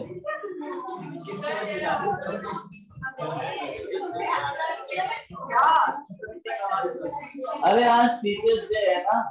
ये ज़िंदगी में जो ज़िंदगी में नहीं याद करते वो टीचर्स डे को याद कर देते टीचर को एहसान कर देते एक मैसेज ज़्यादा सबको दे देते हाँ। रात में बारह बजे से ही मैं परेशान हो गया साइलेंट करके सो गया तो बारह बजे के बाद ही तो आते हैं। चलो। या तो बातें कर ले या तो लिख ले। दो में से एक ही काम होगा। चलो। इस पर अभी बातें नहीं। अरे हीरो, चुप हो जाओ। चलो। तो अभी जो ये पाँचों पढ़ रहे हो, इस पाठ के अलावा फ़ंक्शन नहीं आता है। हाँ जब बच्चे क्वेश्चन करने जाओगे तो कई बार तुम्हें एक्सेलरेशन बी का फ़ंक्शन मिल जाएगा। तो परेशान मत होना उसमें, हम उसको सॉल्व करने के लिए नई टेक्निक नहीं लगा सकते। हम ए को क्या लिखते हैं? डीवी बाई डी टी तो वी वाले फ़ंक्शन को इंटीग्रेट करने के लिए टी को उधर मतलब ट्रांसपोज करके खाली सॉल्व करते हैं। और ऊपर नीचे भेजते हैं भेज भेज क्वेश्चन करेंगे, उस भी भेज लेकिन कभी भी ए बी का फ़ंक्शन आएगा ना तो क्वेश्चन टफ हो जाता लॉग भी उसमें यूज़ करेंगे। कैसे? उसके लिए तुम्हें फॉर्मूला आना चाहिए। हमने दो फॉर्मूले किए थे इंटीग्रेशन में। अब लेकिन देखो, इतने सारे क्वेश्चन करवा दिए, दो पे करवा दिया मैंने 99 परसेंट क्वेश्चन केवल इन्हीं दो फॉर्मूलों पर आते हैं। 99 परसेंट क्वेश्चन अब जो बचे हुए हैं ना, वो इधर मिल जाएँगे तुम्हें। एक फॉर्मूला होता है साइन एक्स डी एक्स पूरा नहीं करेंगे साइन और कॉस करेंगे। काम नहीं लगता आपने।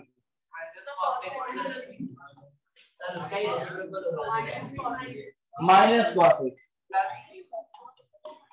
और cos x dx का होगा? प्लस सी क्यों लगा रहे? क्योंकि फॉर्मूला यही तक है।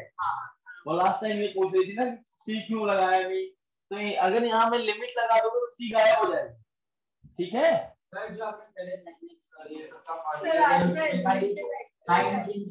हाँ। क्या बात है। समझ रहे हो? ज़्यादा फॉर्मूले याद नहीं करोगे मैथ जो तुम्हें काम आते हैं उन्हीं को याद करा होगा मैथ्स वालों को जब इंटीग्रेशन पढ़ लेते हो, अच्छे क्वेश्चन में कभी कभी और ज़्यादा लग जाता है, लेकिन नीट में और मेंस तक में ये नहीं आता। इतना मतलब इसके ऊपर नहीं जाएगा। उतना ही पढ़ो तुम्हारे काम की मैथ्स है ना, हम टूल्स पढ़ रहे हैं आप ज़्यादा रखोगे तो भी दिक्कत है। हाँ काढ़ा लग जाता है। One upon X D X क्या होता है? एल एन एक्स लॉग भी लिख सकते हो। नेचुरल लॉग है ना एल एन को। एल एन का मतलब क्या होता है? नेचुरल लॉग आ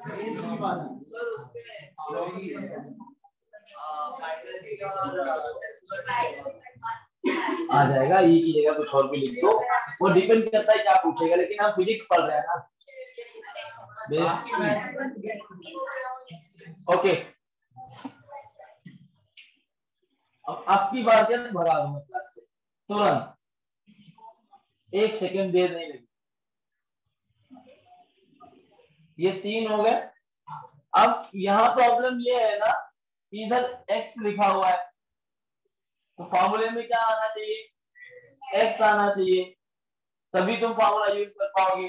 सेम काम काम करते थे। डिफरेंशिएशन में। एक्स लाने के लिए हम चेन रूल यूज़ करते थे। उसको ज़बरदस्ती एक्स मानते थे। और देखते हैं यहाँ क्या कर सकते हो।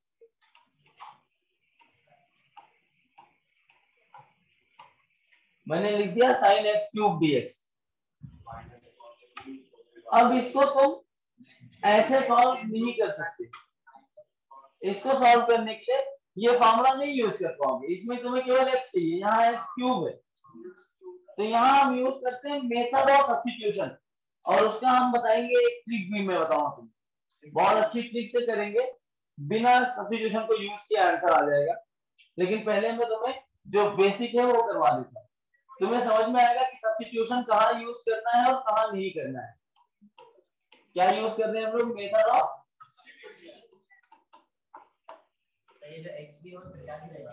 इसको x मानना पड़ता है। क्या करेंगे इसको? X x ना मान के इसको हम t मान लेते x ना मान के क्या मान लिया आपने? T अब इसको कैसे करते हैं? इसको करने का तरीका मैंने बताया था पार्शियल डिफरेंशिएशन जिसको डिफरेंशिएट करते हैं उसी के रेस्पेक्ट में करते हैं। तो यहाँ पे मैं यहाँ लिख देता हूँ differentiating is partially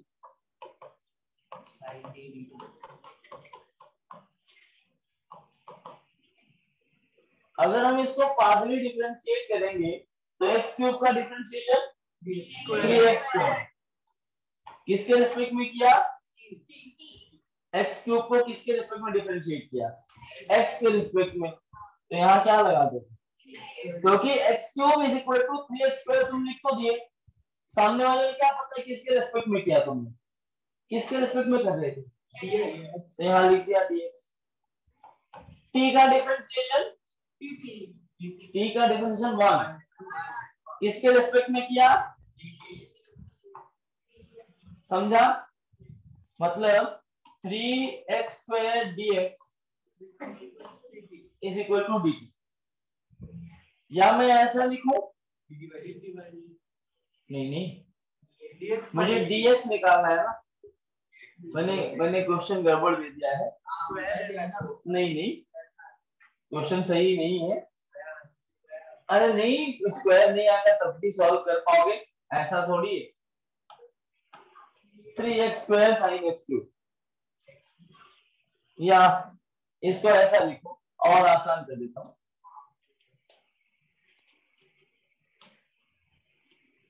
X square sine X cube इधर से देखो, मैं एक्स स्क्वायर डी एक्स की जगह क्या मैं लिख सकता हूँ? डी टी बाई थ्री समझा?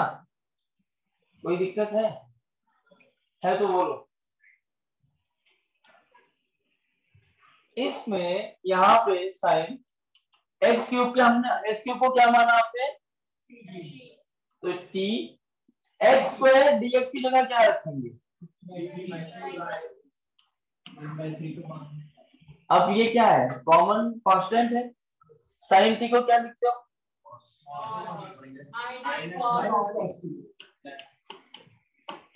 इंडेफिनेट है तो plus C one by three answer तो यही है लेकिन टी तुम किसको मान रहे थे यहाँ रख दो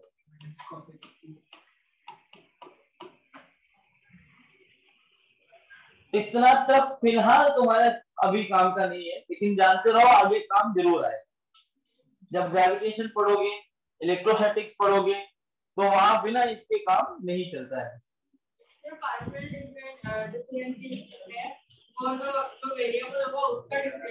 हाँ। हाँ। और अगर sine two sine two sine X two ये दिया हुआ है। तब तो हाँ वही जो मतलब एक्स स्क्वायर नहीं लगाऊँगा आपकी बात कर रहे हो ना सब बहुत डिफ़िकल्ट हो जाएगा उसको समझना। कर सकते हो। तो वहाँ हमें करना पड़ेगा इंटीग्रेशन बाई पार्ट जो अभी हम नहीं पढ़ेंगे बाई पार्ट ये लोग पढ़े होंगे मैथ्स में पढ़े हो ना integration by part theta sine theta D theta में? एक को इंटीग्रेट करो माइनस लगाओ दूसरे को इंटीग्रेट करो फिर माइनस लगाओ तीसरे को इंटीग्रेट करो फिर होल ब्रैकेट में इंटीग्रेट करो। वो टफ होता है।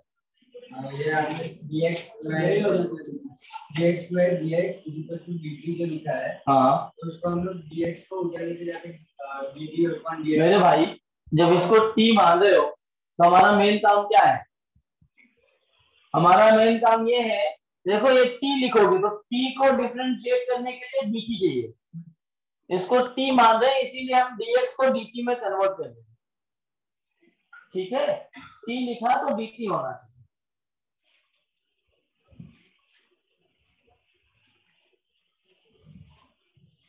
ये फार्मूले हैं तीनों।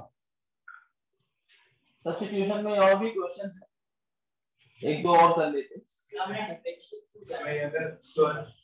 dx को dt में कन्वर्ट करने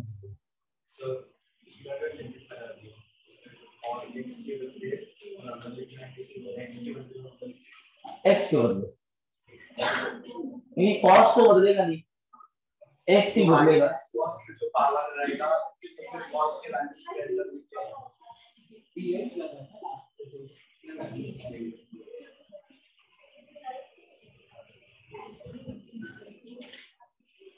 यार एक एग्जांपल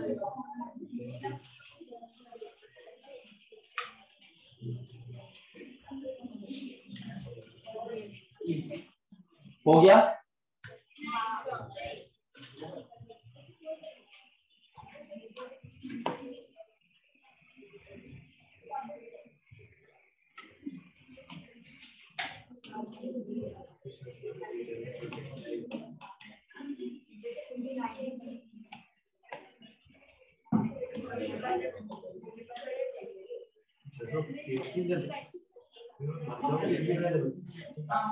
वैसे वो भी कर सकते थे, उसको भी करवा देता हूँ। पहले ये देखो, इसका ट्रिक मिल जाएगा। X square D X same काम तो एक्स क्यूब में भी कर सकते हो। करवा दूँगा, अभी मेरे को दिमाग में चमक रहा है आइडिया तो ट्रिक से ही कराऊँगा लेकिन। इसमें भी देखो यहाँ क्या चाहिए? एक्स चाहिए। तो पहले बेसिक मेथड से कहते हैं दोनों से आंसर मैच करा दूँगा अच्छा चलो मैं अपने मेथड से करता हूँ क्योंकि ये तो कर लिया। ये कोई मेथड नहीं है, ये ट्रिक है। फिर बता रहा हूँ, ये कोई तुम्हें बुक में मेथड नहीं मिलेगा। चेन रूल इन इंटीग्रेशन नाम का कोई वर्ड होता ही नहीं कभी मैथ्स वालों से बोल मत देना। सर से बोल दोगे तो फिर मेरी जानकारी की वजह से बोलते हैं आधा अधूरा पढ़ाते लोग हमें जितना काम होता है उतने पढ़ाएँगे। धंधा बंद हो जाएगा, तुम्हारा मैं पढ़ाना शुरू करूँगा। तो हाँ चलेगा। चेन रूल इन इंटीग्रेशन तो इंटीग्रेशन में चेन रूल कैसे आएगा? होता नहीं है, कोई कॉन्सेप्ट ही नहीं है, लेकिन मैं बना दिया। हाँ इसको मैं पूरे को एक्स मान लू। क्या मान लू? ज़बरदस्ती एक्स मान रहे हो। तो एक्स मान के हम क्या करते थे? माइनस कॉस एक्स स्क्वायर हो जाएगा।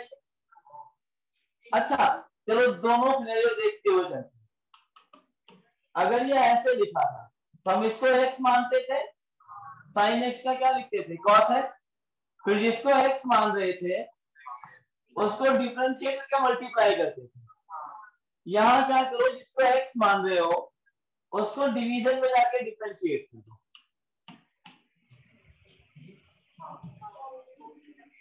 खत्म। तो minus cos X square upon two X rule हो गया ना? अरे सीख ठीक। हो गया। हाँ। ये कोई रूल नहीं है। वर्क करता है। कहा वर्क नहीं करेगा वो बता दो। जो पहले क्वेश्चन किया अगर यहाँ पर एक स्क्वायर लगा देंगे तब ये काम नहीं करेगा। दो यहाँ बीच में अगर दो दो फ़ंक्शन आ गए प्रोडक्ट में तब ये रूल काम नहीं करेगा। सिंगल फ़ंक्शन में ये रूल काम कर जाएगा।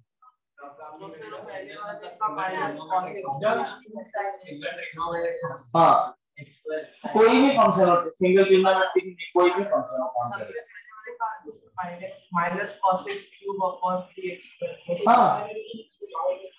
जो आएगा, मैं दिखा देता हूँ तो एक्स स्क्वायर वहाँ से हटेगा भी तो ना अब जैसे इसको करना था, चलो, इसके पहले वाले को देख। अच्छा पहले इसको मैं प्रूफ तो कर दूँ, ये सही आया है। प्रूफ तो करना पड़ेगा ना कि ये सही है। कैसे प्रूफ करोगे? एक्स स्क्वायर को क्या मानोगे?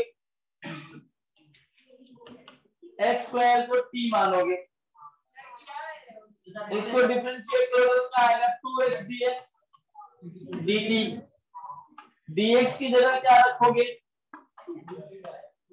टी बाई टू अब टी के रेस्पेक्ट में एक्स तो कांस्टेंट है, बताया था मैंने। तो इसको क्या लिखोगे? साइन टी dx की जगह क्या रखोगे? dt by two X one upon two इसको बाहर निकाल लोगे कांस्टेंट है। साइन टी को क्या लिखोगे? प्लस सी टी की वैल्यू कितनी है?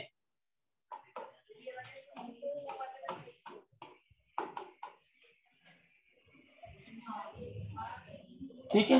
तुम इतना लंबा करो या चेन रूल वाला मेथड याद रखो। आसान है ना? इंडिपेंडेंट फ़ंक्शन के लिए यूज़ कर पाओ। ये तो ये मेथड है। दो फ़ंक्शन है तो कोई ट्रिक नहीं है प्रैक्टिस ही इसीलिए ये थोड़ा डिफ़िकल्ट हो जाता है। इंटीग्रेशन डिफ़िकल्ट क्यों है? क्योंकि इसमें सब्स्टिट्यूशन मेथड यूज़ करना पड़ता है। और सब्स्टिट्यूट कभी कर पाओगे तो प्रैक्टिस अच्छी होगी। एक दिन का काम नहीं है टाइम जाता है। नींद में हो क्या कम से कम बीस बार बोला हो कि जब सिंगल फ़ंक्शन है तो यूज़ कर पाओगे, दो फ़ंक्शन प्रोडक्ट में तो नहीं यूज़ कर पाओगे। ठीक है?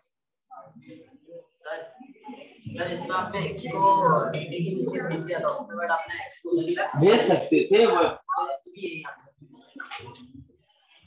मेरी बात सुनो। ये है method two method of substitution ये और ये ऊपर वाला है शॉर्टकट मेथड जब इंडिपेंडेंट फ़ंक्शन है तुम यूज़ कर सकते हो अपनी सहूलियत के लिए और इसको नाम दे दो chain rule in integration but लिख देना ऐसा कुछ होता नहीं है। नहीं तो जब गणेश सर पढ़ाएँगे तो वहाँ जाके तुम लोग बोलो हाँ सर ये चेन रूल इंटीग्रेशन में है। फिर हम गाली नहीं सुनेंगे भाई। ये तुम्हें खाली बताया गया कि तुम्हारा काम आसान कर दे फिजिक्स में। ठीक है? हाँ, वो मेरा जुगाड़ है वो कहीं नहीं दिखेगा। वो जुगाड़ लगाया मैंने देखा हर जगह अगर सेम ही आंसर आ रहा है। तो क्यों ना जुगाड़ लगा के आंसर लाया जाए? यही ट्रिक होता है ना। हम दस सालों से पढ़ा रहे हैं हमारा फ़ायदा तो इसे। हम बहुत लिख दे दूँगा मैं तुम्हें लास्ट तक बहुत लिख बेसिक भी करा के तब लिखूँगा ऐसा नहीं कि बेसिक कराऊँगा ही। बिना बेसिक के लिख पढ़ के कोई मतलब नहीं मतलब हैं। में जो अलग से यहाँ कर रहा हूँ वो वहाँ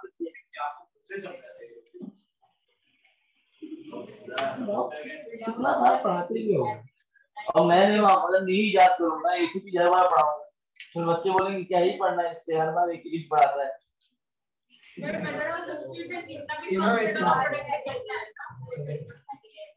ये समझा? सर दो सर दो फ़ंक्शन वाला तो वो सब्स्टिट्यूट करना पड़ेगा। किया ना पहला दो फ़ंक्शन वाला।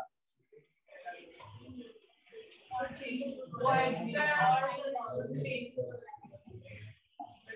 चेन रूल वाले से। अरे एक एक करके खाली जानते रहो। बहुत ज़्यादा यूज़ नहीं होते ये चीज़। तुम्हें अगर मतलब कहीं भी आएगा बिल्कुल परेशान मत हो। इतना टफ तो आएगा नहीं। नीट में भी नहीं आएगा, जेई में भी नहीं आएगा। दोनों को नहीं आएगा।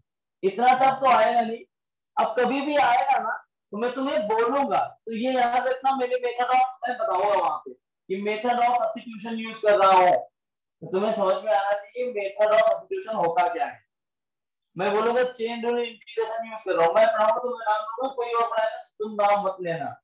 मेरी बेइज्जती हो जाएगी। सीक्रेट ट्रिक है, किसी को बताना नहीं है।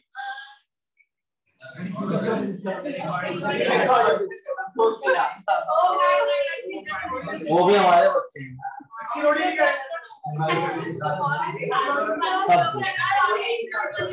सर्व शिक्षा अभियान सब पढ़े सब